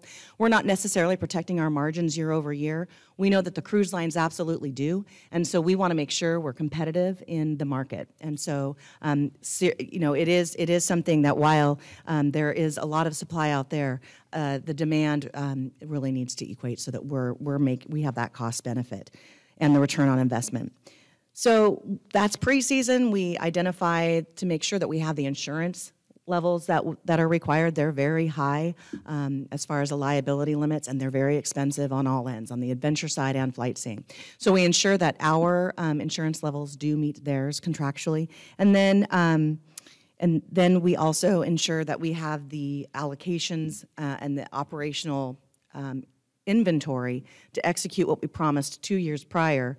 So there is an assumption that we will continue the partnership year over year, two years out. As Rick had mentioned and Kari mentioned, we we're working on 2023 block allocation, and that again is assuming that, um, and we're assuming the risk that our assets are committed to the lines. So, um, so there is a liabil- uh, liability and risk in in ensuring that we are going to be operational and have those um, those assets available to the lines in two years.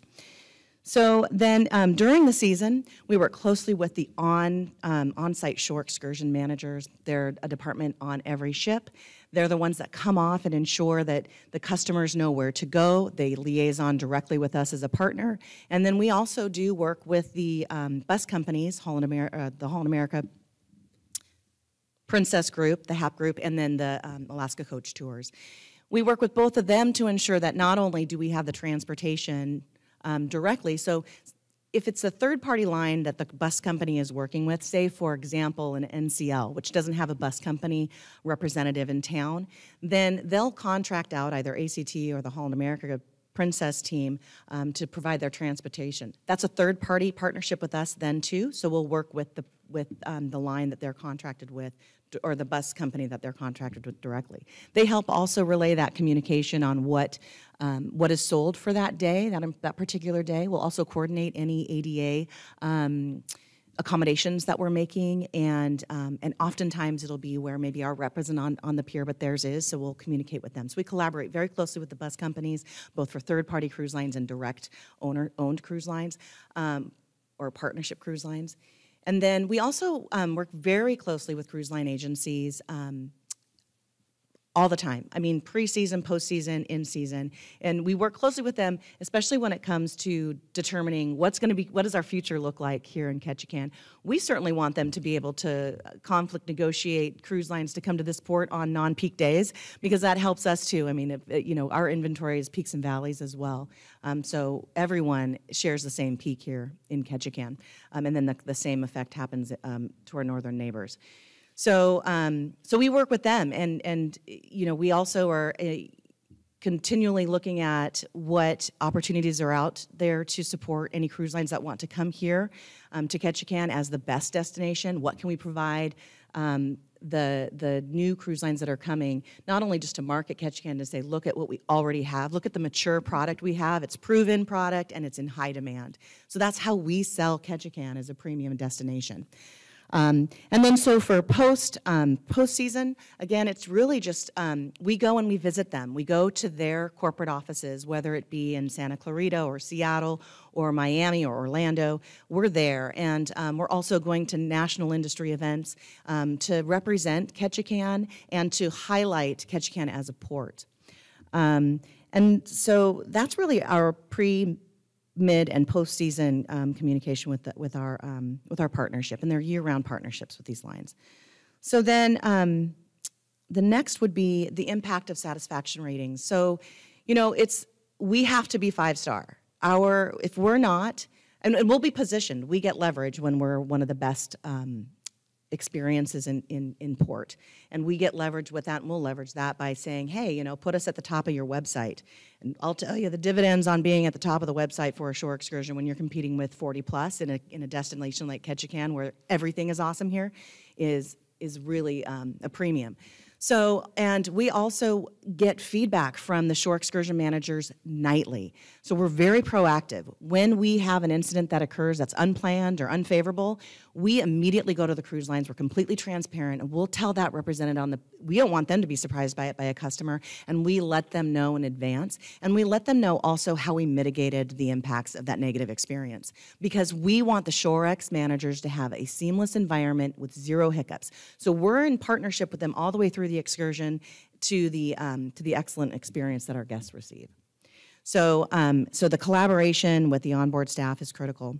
Um, and then also, as I mentioned, um, we, well, I didn't mention this, but we work very closely with the Ketchikan Visitors Bureau. I'm a board member, um, and I just know that, you know, the customer service that we, um, the customer service training that we can get from the KVB. The, we work with them with independent travelers and bookings, um, and the marketing program is so robust that it actually complements what, what I'm doing um, for the companies I represent, um, and it's a critical component. So working closely with the Ketchikan Visitors Bureau, working closely with the cruise line agencies, the local bus companies, and I also work very closely with CLIA on national, on federal um, and state issues with the cruise industry, and also um, working with um, the chamber and also the city and borough. So, um, you know, we as partners do a really good job of collaborating. It's a very mature industry, and I look forward to giving you more information about how we're actually going beyond to be more proactive about our collaboration and our and our transparency as an industry to work with all the stakeholders and our neighbors in Ketchikan in my next presentation coming up. Vice Mayor, I'm I'm ready to answer any questions you might have. Thank you. Any questions? Mr. Mahtani? Krista, thank you very much for your presentation. Thanks, Jim. I have one question. Not all guests buy tours or excursions or zip lines or even uh, go-karts on board. Do you partner with any local booths or operators in the KVB to sell your product? Or do you have inventory to sell your product uh, independently from independent operators? Yeah, that's a really good question, and that's another part of our business that is really important because, as you know, um, the cruise lines, as Kari mentioned, do sell up to 24 hours in advance of arrival. So um, that's a lot of liability and assets that we're holding that we're not sure are going to be filled. So it's critical for us to be able to capitalize on the independent traveler. And when the in, when we talk about independent traveler with the cruise lines, it's that traveler that isn't pre-booking an excursion through the cruise line. It's them saying they're and they're savvy out there now. So the demand for independent bookings and um, you know when they come into a port on same day is really high. So yes, both um, the Alaska Rainforest Sanctuary and Taquan Air do use that um, surplus inventory that is available, made available the day before, ready to sell to the independent traveler who's coming off the pier. We do um, bid on city booths so that we can be present down there, and we also um, bid on KVB booths. Thank you.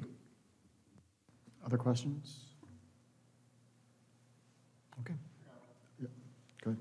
Um, Between your two organizations, uh, about how many jobs do you think uh, are provided in the summer, going forward this year, for example?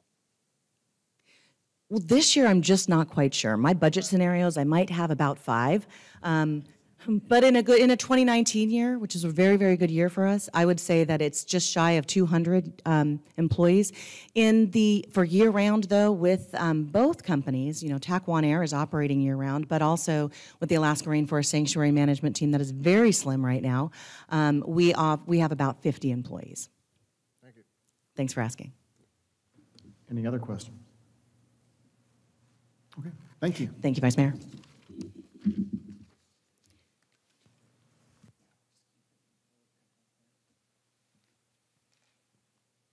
Our next speaker is Patty Mackey, whenever she's ready.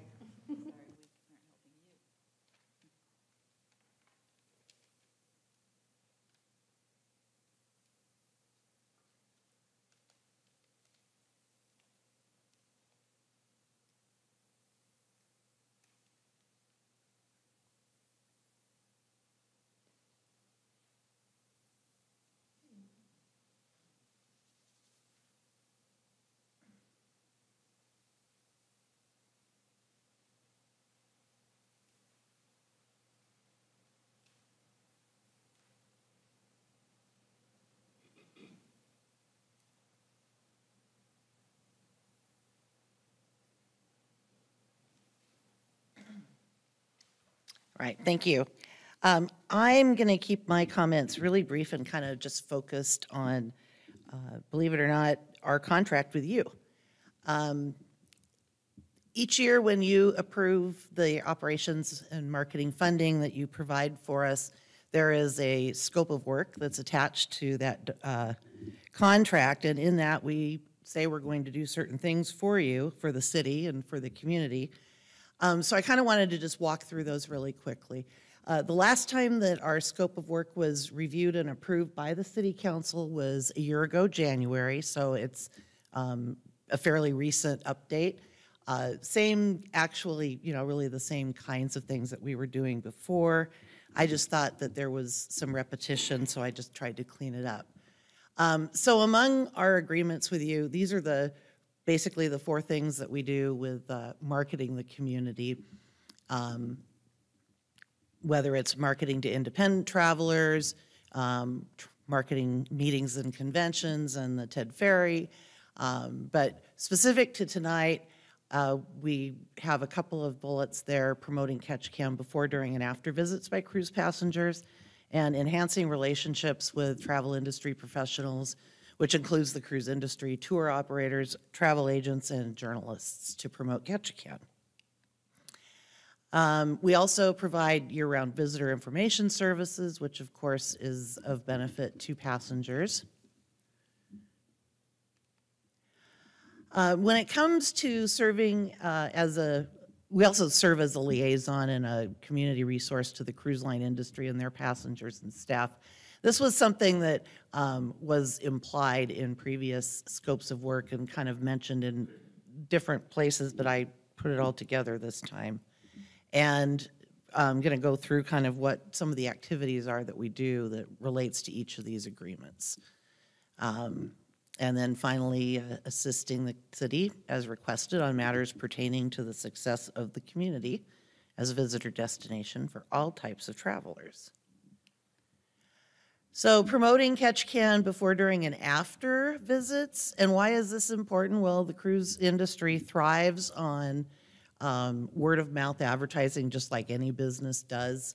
Um, they want those positive experiences to take place, and they want people at the dinner uh, table talking about what a great time they had in each of the ports. That benefits Ketchikan in terms of, uh, you know, making sure that we're always a, a top destination on the cruise ship itinerary.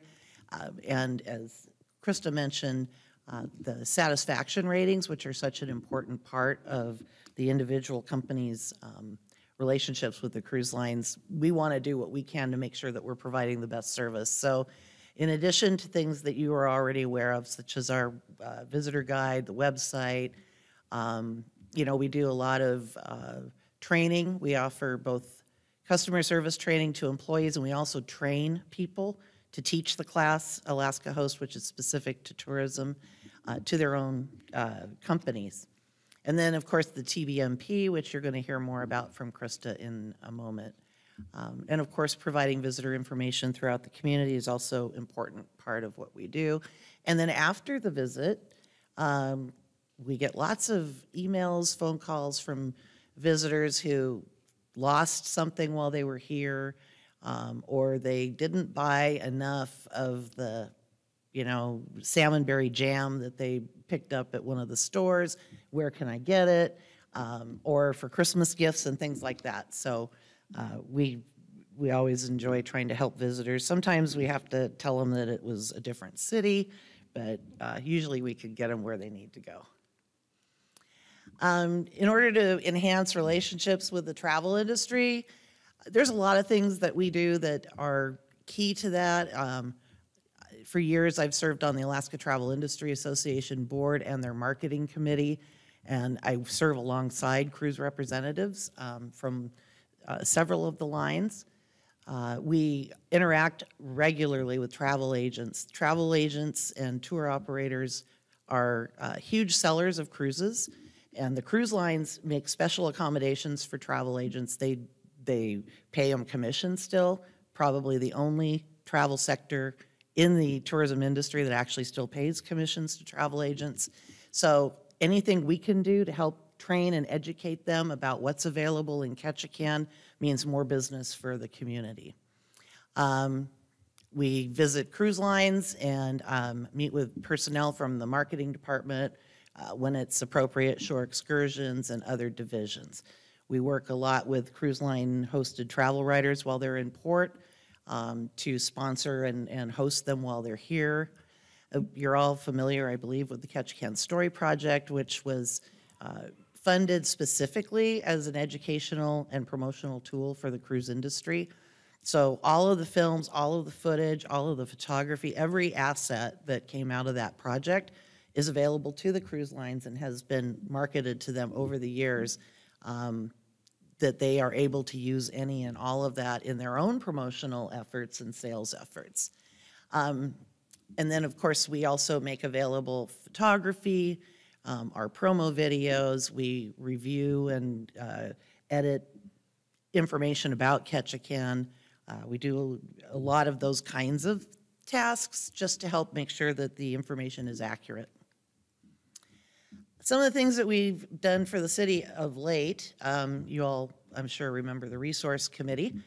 And of course, while it, you know, it ended up that, that that committee kind of morphed into the Southeast Mayors Committee, which then morphed into uh, agreements between the cruise lines and the ports, and uh, the whole thing, nobody knew last year where we were going with any of the um, ships returning, but it was a good thing to be prepared and be available.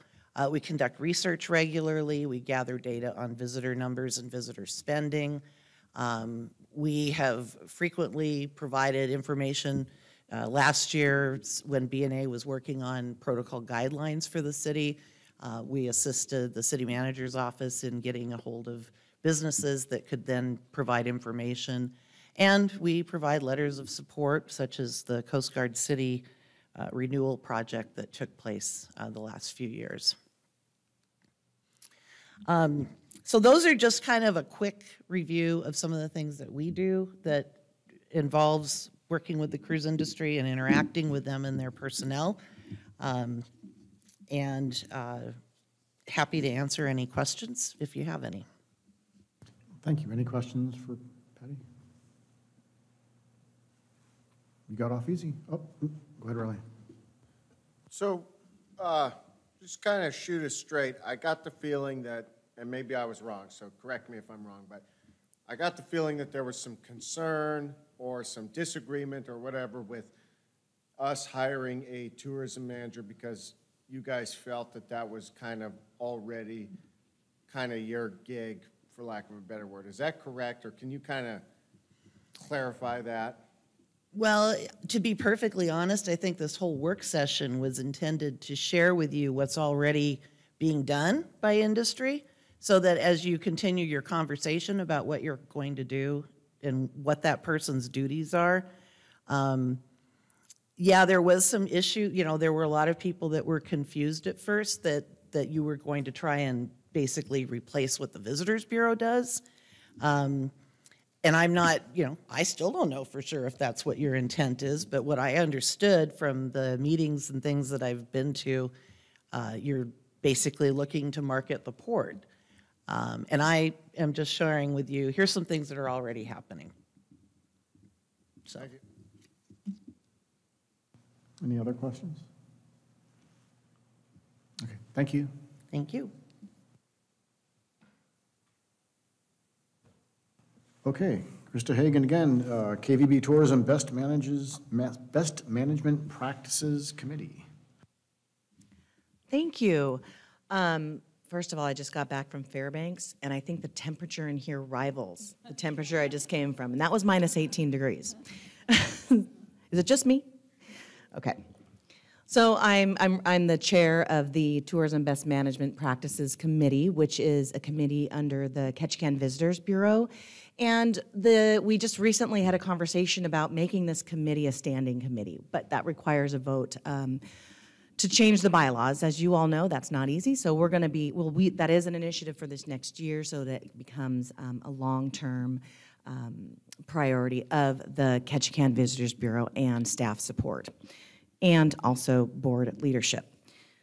So um, some of these slides you may be familiar with some of you, as I actually um, stole them from Patty's uh, past presentation. So thank you very much, Patty, for your work on this. And um, essentially, this is a snapshot of the cover page of our um, of our website. It will be up and active in the next couple months. We're doing some more work on it just to make sure that as we are rolling out the program this summer, uh, that it actually represents all that we intended um, to roll out in 2019 accurately for 2022. Um, I brought this slide up because that is, um, it basically is a sum- summation of the, um, the mission of the um, the effort of the tourism best management practices. So the reason why I am the board chair, or I'm not, not the board chair, but the reason I am the committee chair, sorry, Joe, I don't mean to take away your thunder. He's our chair, um, is because I actually worked on the initiative in Juneau when it um, was created in, and driven in um, the late 1990s. And so I was able, as an operator at that time, was able to um, watch it work. And essentially, what was my greatest pleasure was be able to have one-on-one conversations with those people in the community who felt affected by impacts of the industry, and oftentimes they were unintended impacts. So not only did I get to learn from my neighbors, because I grew up in Juneau, but I also got to respond to them and respond to them in a reasonable way. One was either to educate and to come to um, an, a mutual understanding, or number two, to solve a problem that, that I wasn't maybe aware of, or number three, to correct a commitment that we had made on behalf of the tourism best management practices in Juneau voluntarily that we may have fallen short of. So that's really what, what I'm excited about this program here today. And so I'll just go to the next slide. So our priorities, and number one is that we provide the community with the means to have questions and concerns addressed in a timely manner by those who are um, impacting um, the, the operating environment in which we're working in. We're going to enhance the visitor experience and Ketchikan's reputation as a top-rated destination as a result. And this um, will offer tools and guidelines for in- industry partners wishing to practice the high standards. And so this isn't just going to be for those um, mature operators, but it's going to be really great for the new operators coming in. Um, but most importantly, it's going to be for those people who don't feel as if they have a voice to um, raise their concerns, or they feel as if those concerns are raised on deaf ears, or they think it's too big of an industry even to make an impact. So, most importantly, it's a conduit for transparency. And the way that we'll do that transparency, I'll share with you here um, as we move forward. So, again, the key components are that it's industry led. When I say voluntary, it means you don't have to you don't have to sign on. You know, you can just run your operation the way that you do. But we are going to create, there are incentives built in, and we're going to continue to look at incentives um, for people to want to be a part of this program. And quite frankly, as we look and sell this to our, our peers in the industry, is to say that it's non punitive if you follow through with the voluntary agreement that you're making in this program. Um, so it really is that base of encouraging stakeholders and community input and community and and, um, and engagement and common understanding. If we can get to that level, then I think that we can have better harmony and better solutions that actually take into account other people's perceptions of what are what is going on. Um, so then, and it's adaptable. The annual review and ongoing opportunities to fine tune this program. We will be re- reviewing this year over year. We will be seeking your your guidance, your feedback. We'll also be re- um, seeking. Um, uh, we'll be reviewing those calls that come in. We'll be looking at trends. We'll also making be making sure that those that commit to this program are following through. So the partnership, you know, many people think that if it's being managed and overseen by the Ketchikan Visitors Bureau, it's just the Visitors Bureau membership, and that is absolutely not true. It outreaches to every stakeholder in Ketchikan, and this this is this runs the gamut. I'll show you all of the um, the types of businesses that we're seeking to sign on to this. Um, but it is it, it's it's not just those that sign on voluntarily for it to be successful. It's promoting it to our neighbors and everybody in the community to participate, so that we we're only as strong as the feedback we get. Um, but you can see here um, the snapshot of those that we are um, actively soliciting to be a part of this program as operators, um, and then and, and we are getting membership. Um, we have the membership uh, information for the chamber and Rotary, and we are we're soliciting um, those membership partners as well directly. So it's incumbent on us to ensure that we educate the community and promote this program.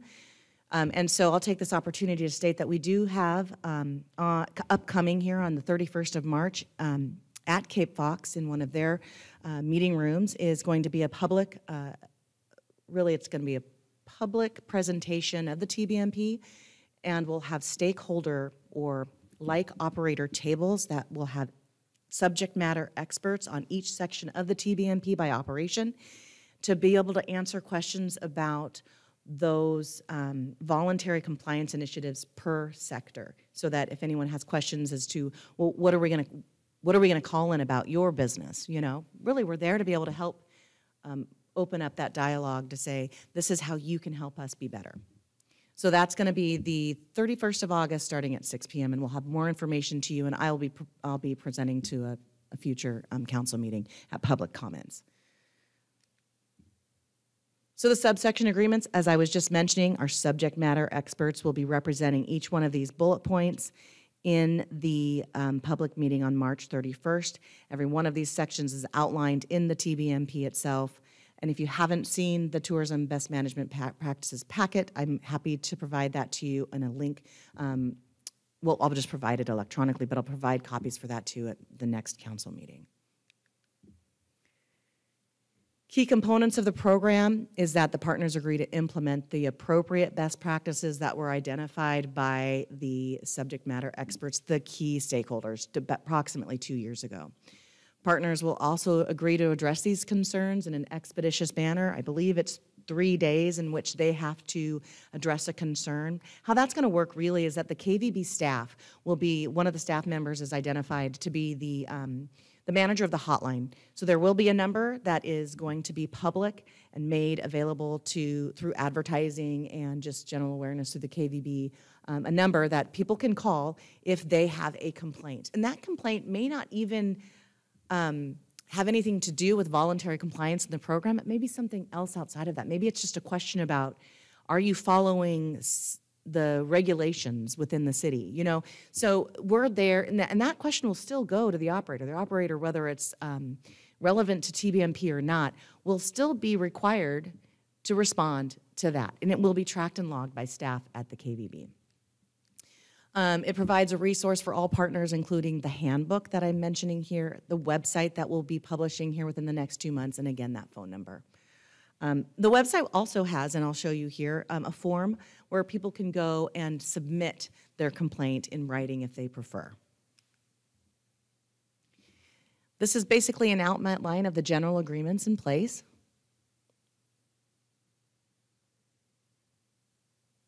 Most importantly, sharing the responsibility for ensuring that the visitor experience in Ketchikan exceeds expectations. It's that quality, uh, um, the quality, the highest uh, quality port call.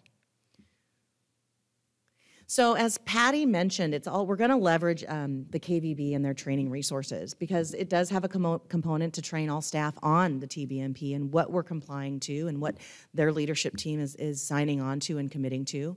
Um, and it's self-monitoring, meaning that if we can self-report before it's reported by a state, uh, you know, an industry or even, you know, a community member, then we're winning.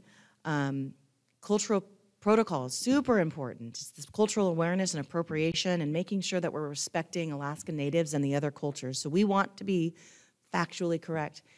Um, again, in that accurate information uh, um, on accessibility, adherence to federal, state, and local laws, and then the wildlife viewing protocols. So the TBMP website will feature resources that already have guidelines built in, including city ordinances and those types of regulatory requirements that are built in that we already should be complying with. But if there is something that a, um, a volunteer um, organization is not complying with, this is also a conduit, conduit to, to uh, report. So the website is going to be at ketchikantbmp.info. Again, um, we will, that'll be live and ready by the March 31st um, presentation at Cape Fox. We'll advertise that publicly um, throughout uh, many of the media outlets. Then um, the hotline there is also via email and phone. So we have three ways to accept feedback through an email, a phone number, and and that that phone number is actually an answering machine. So it, it reduces the uncomfortable nature of sometimes people talking face, uh, you know, person to person. Um, and um, but we but it can't be um, anonymous because we need to be able to get back to the person who leaves the feedback as our commitment to the program. This is uh, what it looks like to submit electronically through the website. Category is important. I showed you the categories for, uh, for all of the areas in which the TBMP is focused, operating areas. Category is important because we're going to be looking at the feedback we're getting. I believe Juneau received in 2019 over 250 comments. Um, so, and, and they're broken out by, by, by category. So you're able to see what the trends are. Um, and, and, and then that is public information. And I mentioned these are the, some of the resources that we'll be providing on that TBMP website. Advertising is critical. We'll be um, uh, promoting member, uh, you know, the volun- voluntary members. Um, we'll be also uh, promoting TBMP regularly through um, the paper and um, all other news avenues that we can to ensure that the gen- this is just as examples of Juneau. And what's great is they paved the way um, to do it right, and, and we're, we're going to piggyback on that and emulate um, their successes. But this is examples of what we will be doing preseason, postseason, and then throughout the year. And that's all I have, so I'm happy to entertain any questions. Vice Thank you. Any questions? Lallette? I thought it was interesting, since I uh, heard the presentation a couple of weeks ago, that um, I know there was no way to legally uh, control what was going on out there at Herring Bay, but this uh, TMBC, whatever it is, um, Close. is in BC. Um, Anyway, it, it, it's a way for the member groups to actually control it within themselves, and they don't have to have law enforcement that, that the, the group is going to be enforcing their own. And so I think it's a very efficient use. And um, you were talking about having uh, like stickers or something in windows so that, you know, we are a proud member of type of, of thing. And I, I, I just, I think people will start to look for those things. Um, I was wondering on the phone, so the people are leaving a message on an answer machine, how fast uh, do you expect to call them back on that? It's a requirement of the voluntary program to call back within three days. And three business days. The other point, how does three business days equate to a 24/7 operation in the summer? Okay, at any rate, three business days. I'm, I'm assuming it's traditional business days, um, but we can clarify that. But it's three business days, and, um, and then I, if I understand correctly, we loop back to let the representative at the KVB know that that was followed through? Patty, if you don't Yes, mind, I'll that's, defer to Patty. that's the intent, is that um, we get a hotline email or phone call that is passed on to the business or organization that was mentioned in the call. They get their three days. They respond back to the uh, individual and also to the KVB so that we can log that information on the uh, spreadsheet that we'll be keeping. And if I may, Vice Mayor, I think I heard a question there, just to, to clarify with Lallette, that, that, that um, as far as Herring Cove goes, you mentioned that we self-police. The other, the other thing here is that by operators understanding what we're volunteering and complying to, we're going to hold each other accountable to that.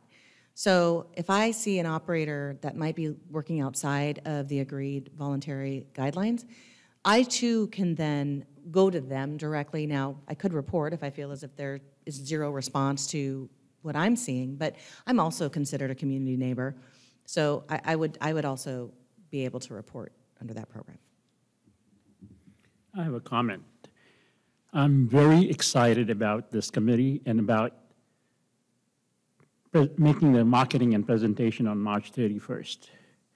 I've been part of this committee even before it was a committee. Members of the community, Mr. Richard Harney, Planning Borough, and other stakeholders were part of coming up with this whole agenda, this whole TMBP best practices, what we are putting out there.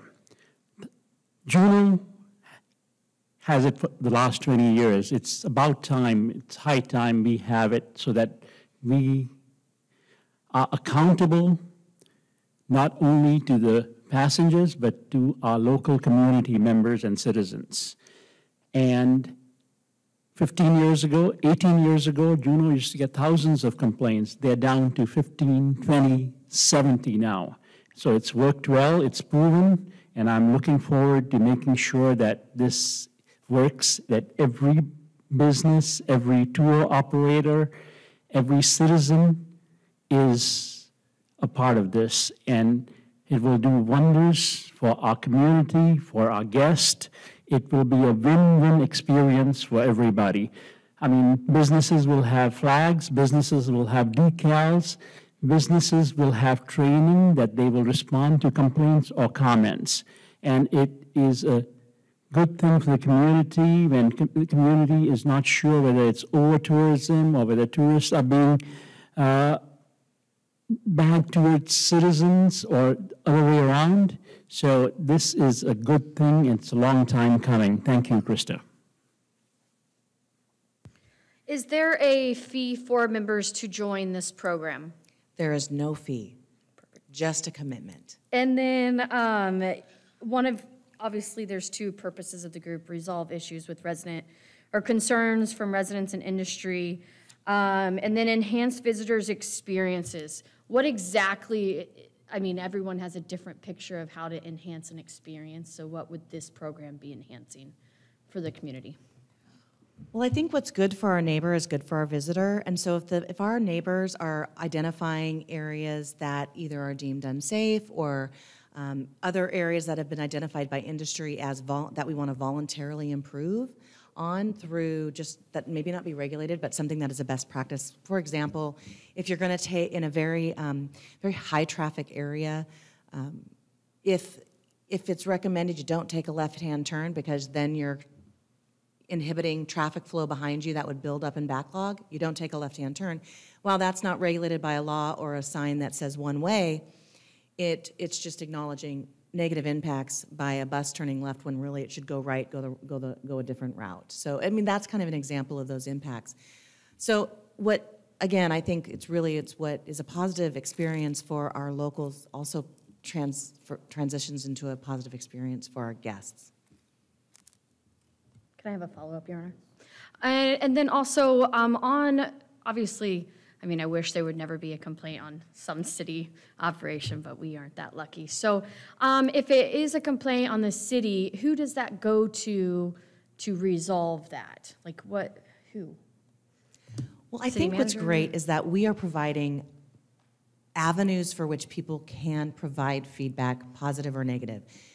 We expect these are going to be, this will be critical feedback, which is really good because we can respond to that. We can explain ourselves if we need to. But I know that Patty and staff will take, you know, if it's a, if it's a complaint against the city, they'll take that and give it to the appropriate um, organization. I would, I would trust that would be the case.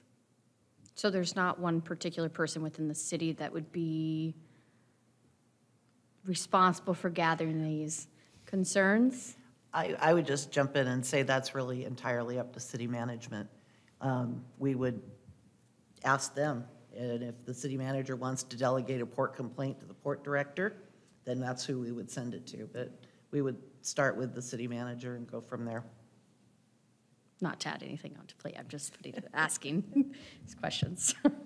No, Councilmember Bradbury, that's absolutely fine if, if it's obvious or maybe not obvious that, you know, the origin of the complaint and how to deal with it, it's fine that it come to the city manager's office. If it's something obvious, like, oh, this is a law enforcement concern, then it can go directly to the police. I think just as long as it finds its way to the correct person, that's the, the main thing. Perfect. And then last thing is, um, on these enhancement suggestions or solutions that you may find that's work on a small level, will that be shared with um, whoever's in this position over the ports um, to kind of help lead our way in enhancing the city experience in terms, I mean, we've talked about crossing guards and street closure. I mean, there's numerous amounts. Um, Would that information come to us so that we can always kind of see, you know, what, what do we need to look at improving on um, in that area as well? To just make us look a little bit better compared to down the street. Abby, that's a really good point, because this is data collection, right? And, and um, we can take that data and we can use it to make decisions. And if that is decisions and, or information we can provide to ports and harbors and the city and the city council, this body, we certainly would do that. And that information is gonna be transparent anyways. So yes, I would hope that anybody who's a stakeholder in the decision-making processes, both public and private, would use this information to make really great decisions on behalf of the city, on behalf of the community, on behalf of Ketchikan.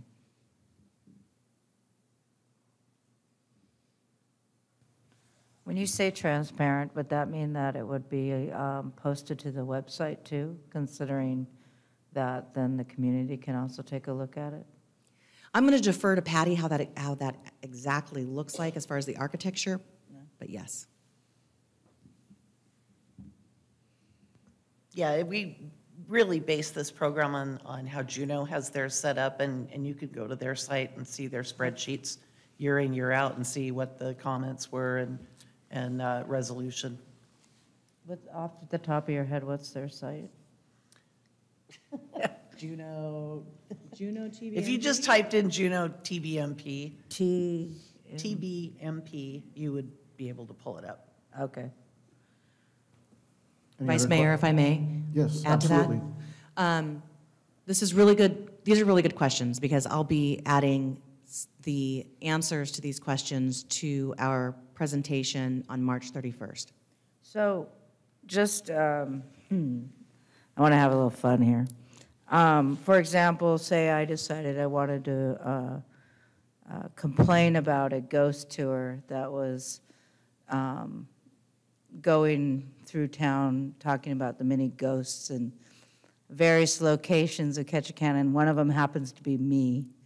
And um, so would I just write in there, uh, can you please let the ghost tour people know that I'm very much alive, and I'm not a ghost, um, but I'm very, would love to just come down and dress up in white, and, yeah.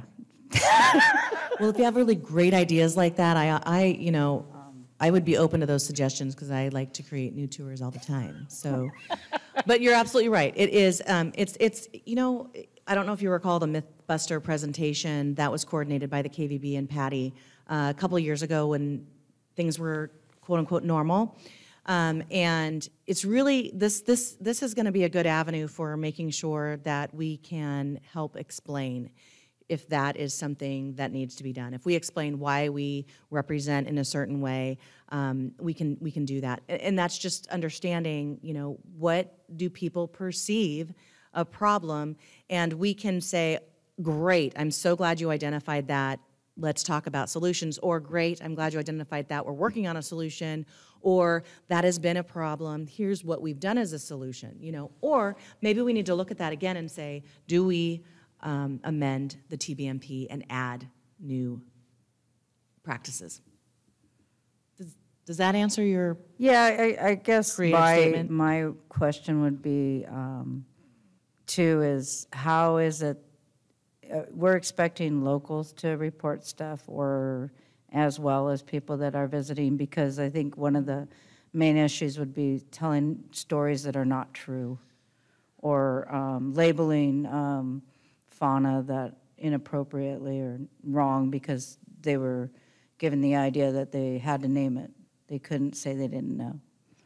Um, Things like that. I think it would be interesting to see how we would capture that information. Absolutely, if it's, if it, if it is captured by a local, we would hope that those also who sign on are committing to the requirement that you're training your people to provide factual information.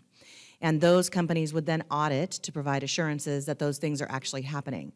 So we're going to rely on our volunteer, uh, you know, partners, our voluntary partners to comply, and they have to create their own assurances. And if there is a way that we can find out that there's misinformation, then we're certainly going to do that. And I know that Patty and her team already do that so as a service to the to the community and and and ensuring again that we're providing um, the best experiences, the most accurate experiences here.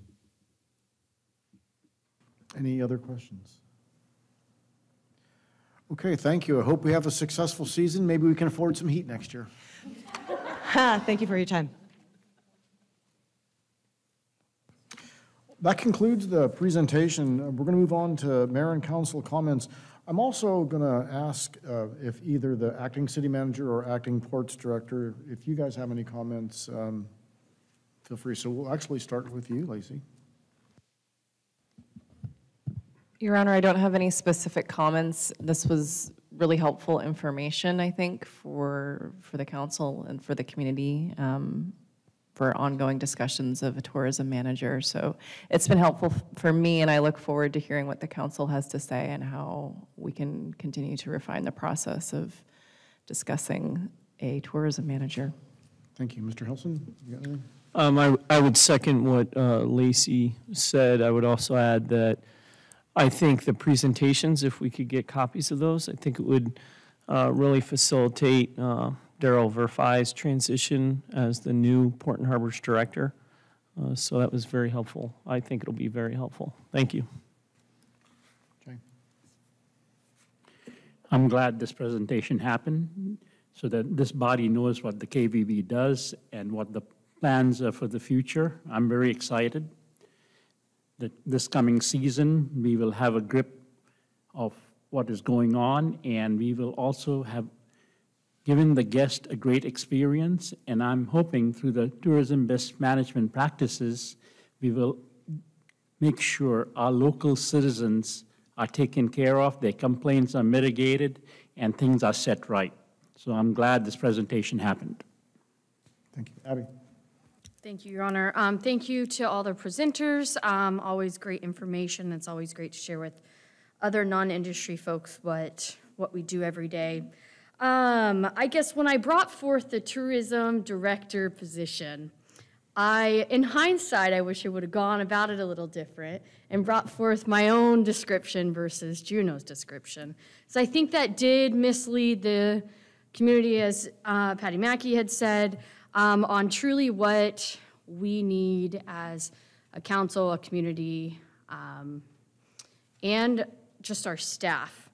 Currently, in my eyes, there are many different people wearing a hat to help support some aspect of the city operations side of tourism. So you have the city manager doing something, you have the assistant manager, you have the port director, the harbor master. They're all working on fee structures and talking with cruise lines to work on improvements.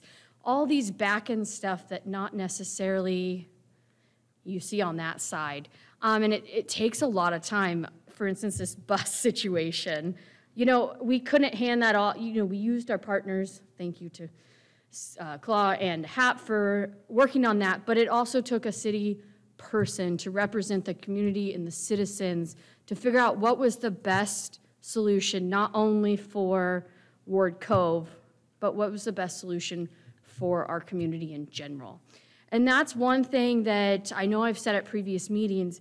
Everyone here listed who they represented, and none of them were actual citizens. They're paid members, cruise lines, um, all these various people. And so that's what I think our citizens lack, especially the non-industry um, folks, which we, we know there's a large part of, part of the population that doesn't have anything to do with directly with the industry.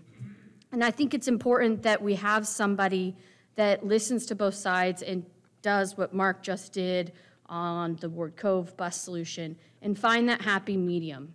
And the it's hard to say, okay, you know, you guys work for your members and everything and create a plan for the city. It's hard to ask that of an organization that does represent, you know, a private sector or a group of people, not necessarily the whole community, even though we hope that everybody would move towards the best goal for the community, not just their private industry.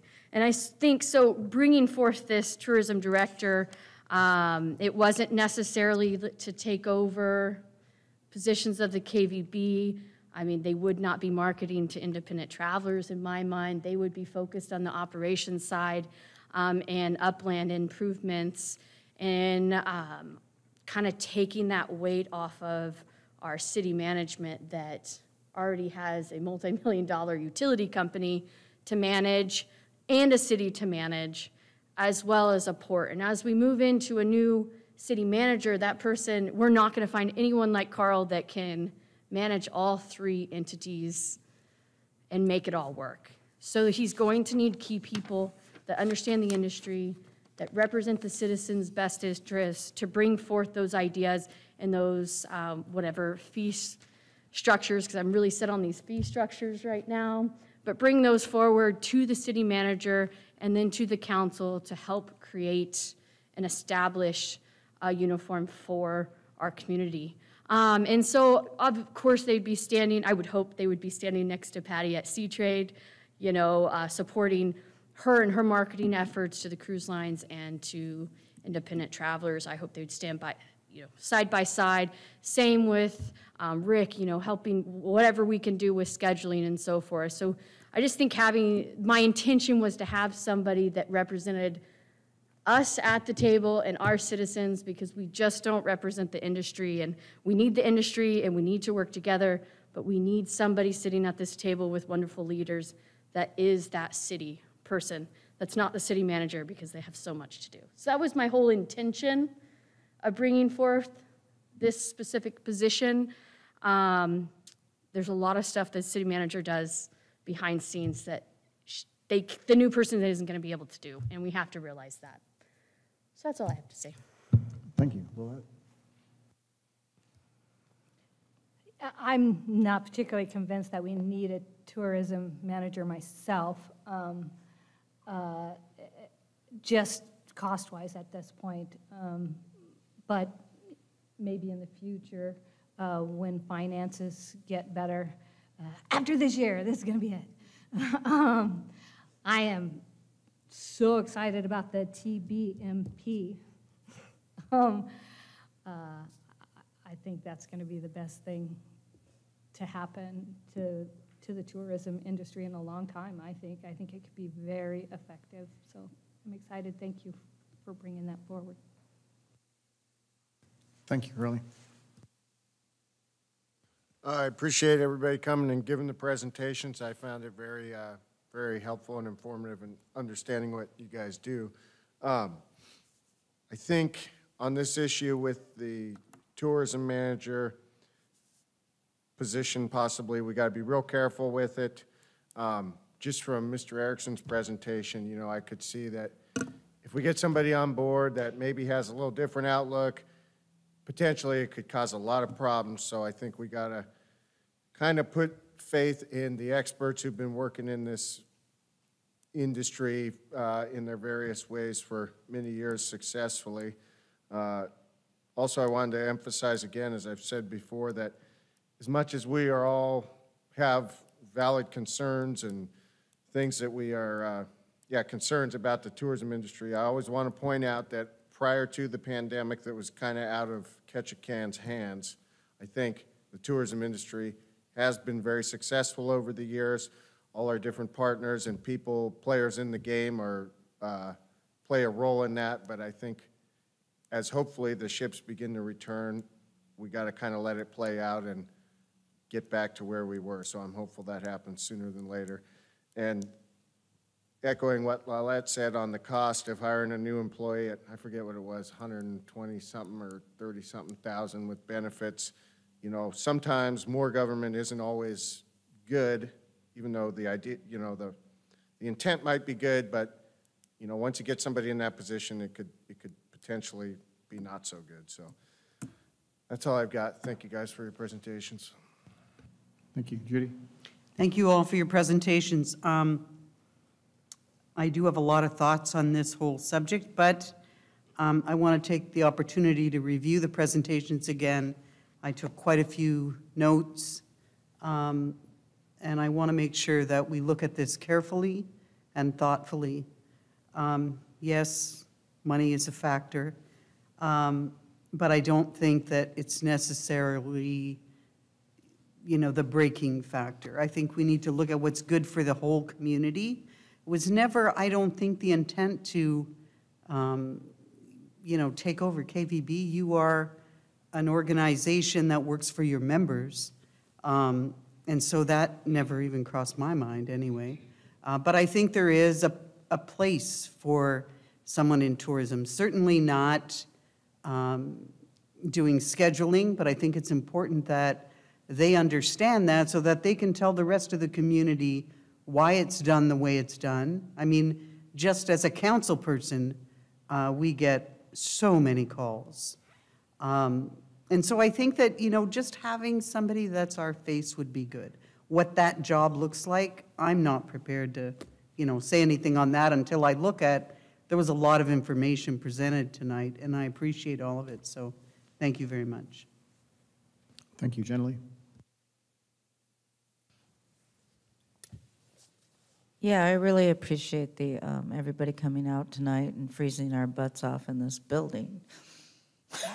But, um, the, I think, um, was great information, and I agree with, um, what Judy said. There's, I think it's nice to have, um, considering the amount of things we're always working on and the amount of time that has to go into something like this, having somebody that's designated to be our, um, boots on the ground per se, so that we have somebody that's actually um, participating in, it. this is a full-time job. And uh, um, all of us at this table, um, this is not our full-time job. Although I do feel like sometimes it is, most of the time, sorry. Um, The, um, I think just listening to this presentation and the past several weeks and several years, um, one of my I think just to drop a idea in the bucket is that we tend to spend a lot of time um, discussing everything on the inside of downtown Ketchikan in the middle as uh, it, past the tunnel. And we like to just uh, put everybody right in the center. And I think it's important and something that's been brought to my attention by many uh, several of the businesses down on the uh, Newtown area is that when are we going to be um, thought of? So, you know, there's been a lot of rejuvenation in the, uh, just past the tunnel before you, you know, in the Newtown area, and um, several new businesses that would really like uh, some thought put into um, how uh, they would be addressed and marketed. Um, A lot of times, I had a couple people tell me that no one gets off the boardwalk. Um, We, I know that we, before pandemic, we had talked about uh, putting in the uh, flaggers down there at the um, old bypass.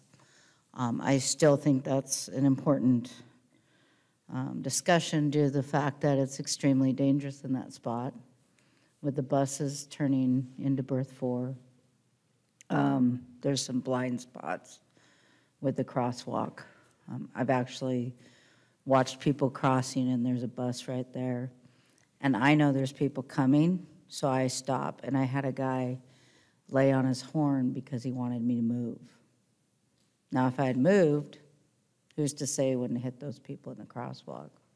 So it's, I think, um, I know maybe I'm off topic, maybe I'm not, but um, Newtown seems to get lost in the shuffle when it comes to some of these conversations, and I think it would be nice that um, we consider all of our uh, players, including the ones on the other side of the tunnel, and not just in the downtown core and on berth one and two.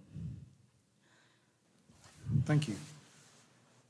I want to thank everybody who came tonight and presented. It was a lot of really, really good information.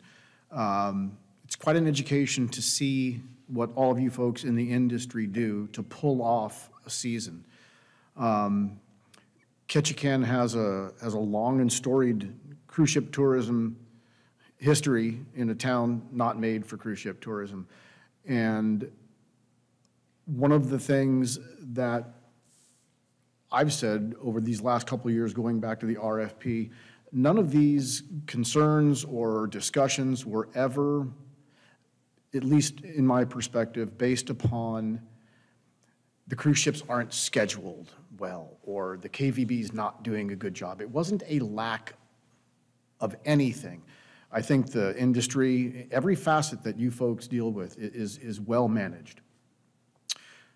That being said, two takeaways from the RFP for me was we can no longer afford the status quo, and we can do it ourselves. One of the obligations we have as city council people is we don't have, I'll say the luxury, we have a, a larger lens. How does tourism affect the community at large, the greater community? The status quo isn't maintainable. I've just finished my sixth and final budget cycle. And I don't mean this just with tourism, but by and large, what we've been doing as a community is not sustainable. Simply growing bigger and doing the same thing into the future isn't the solution.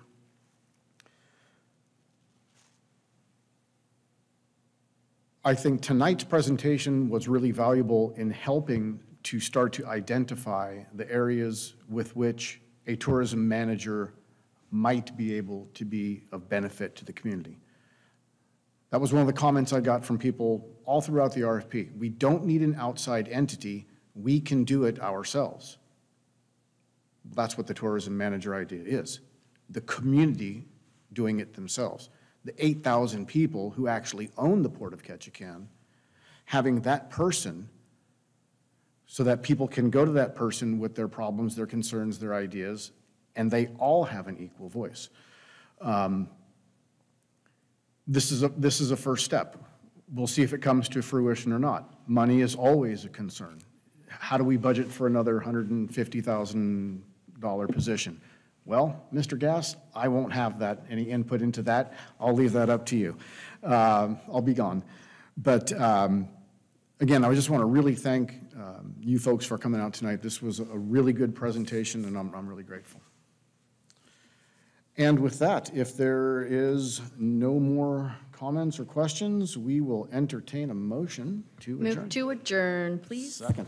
Thank you.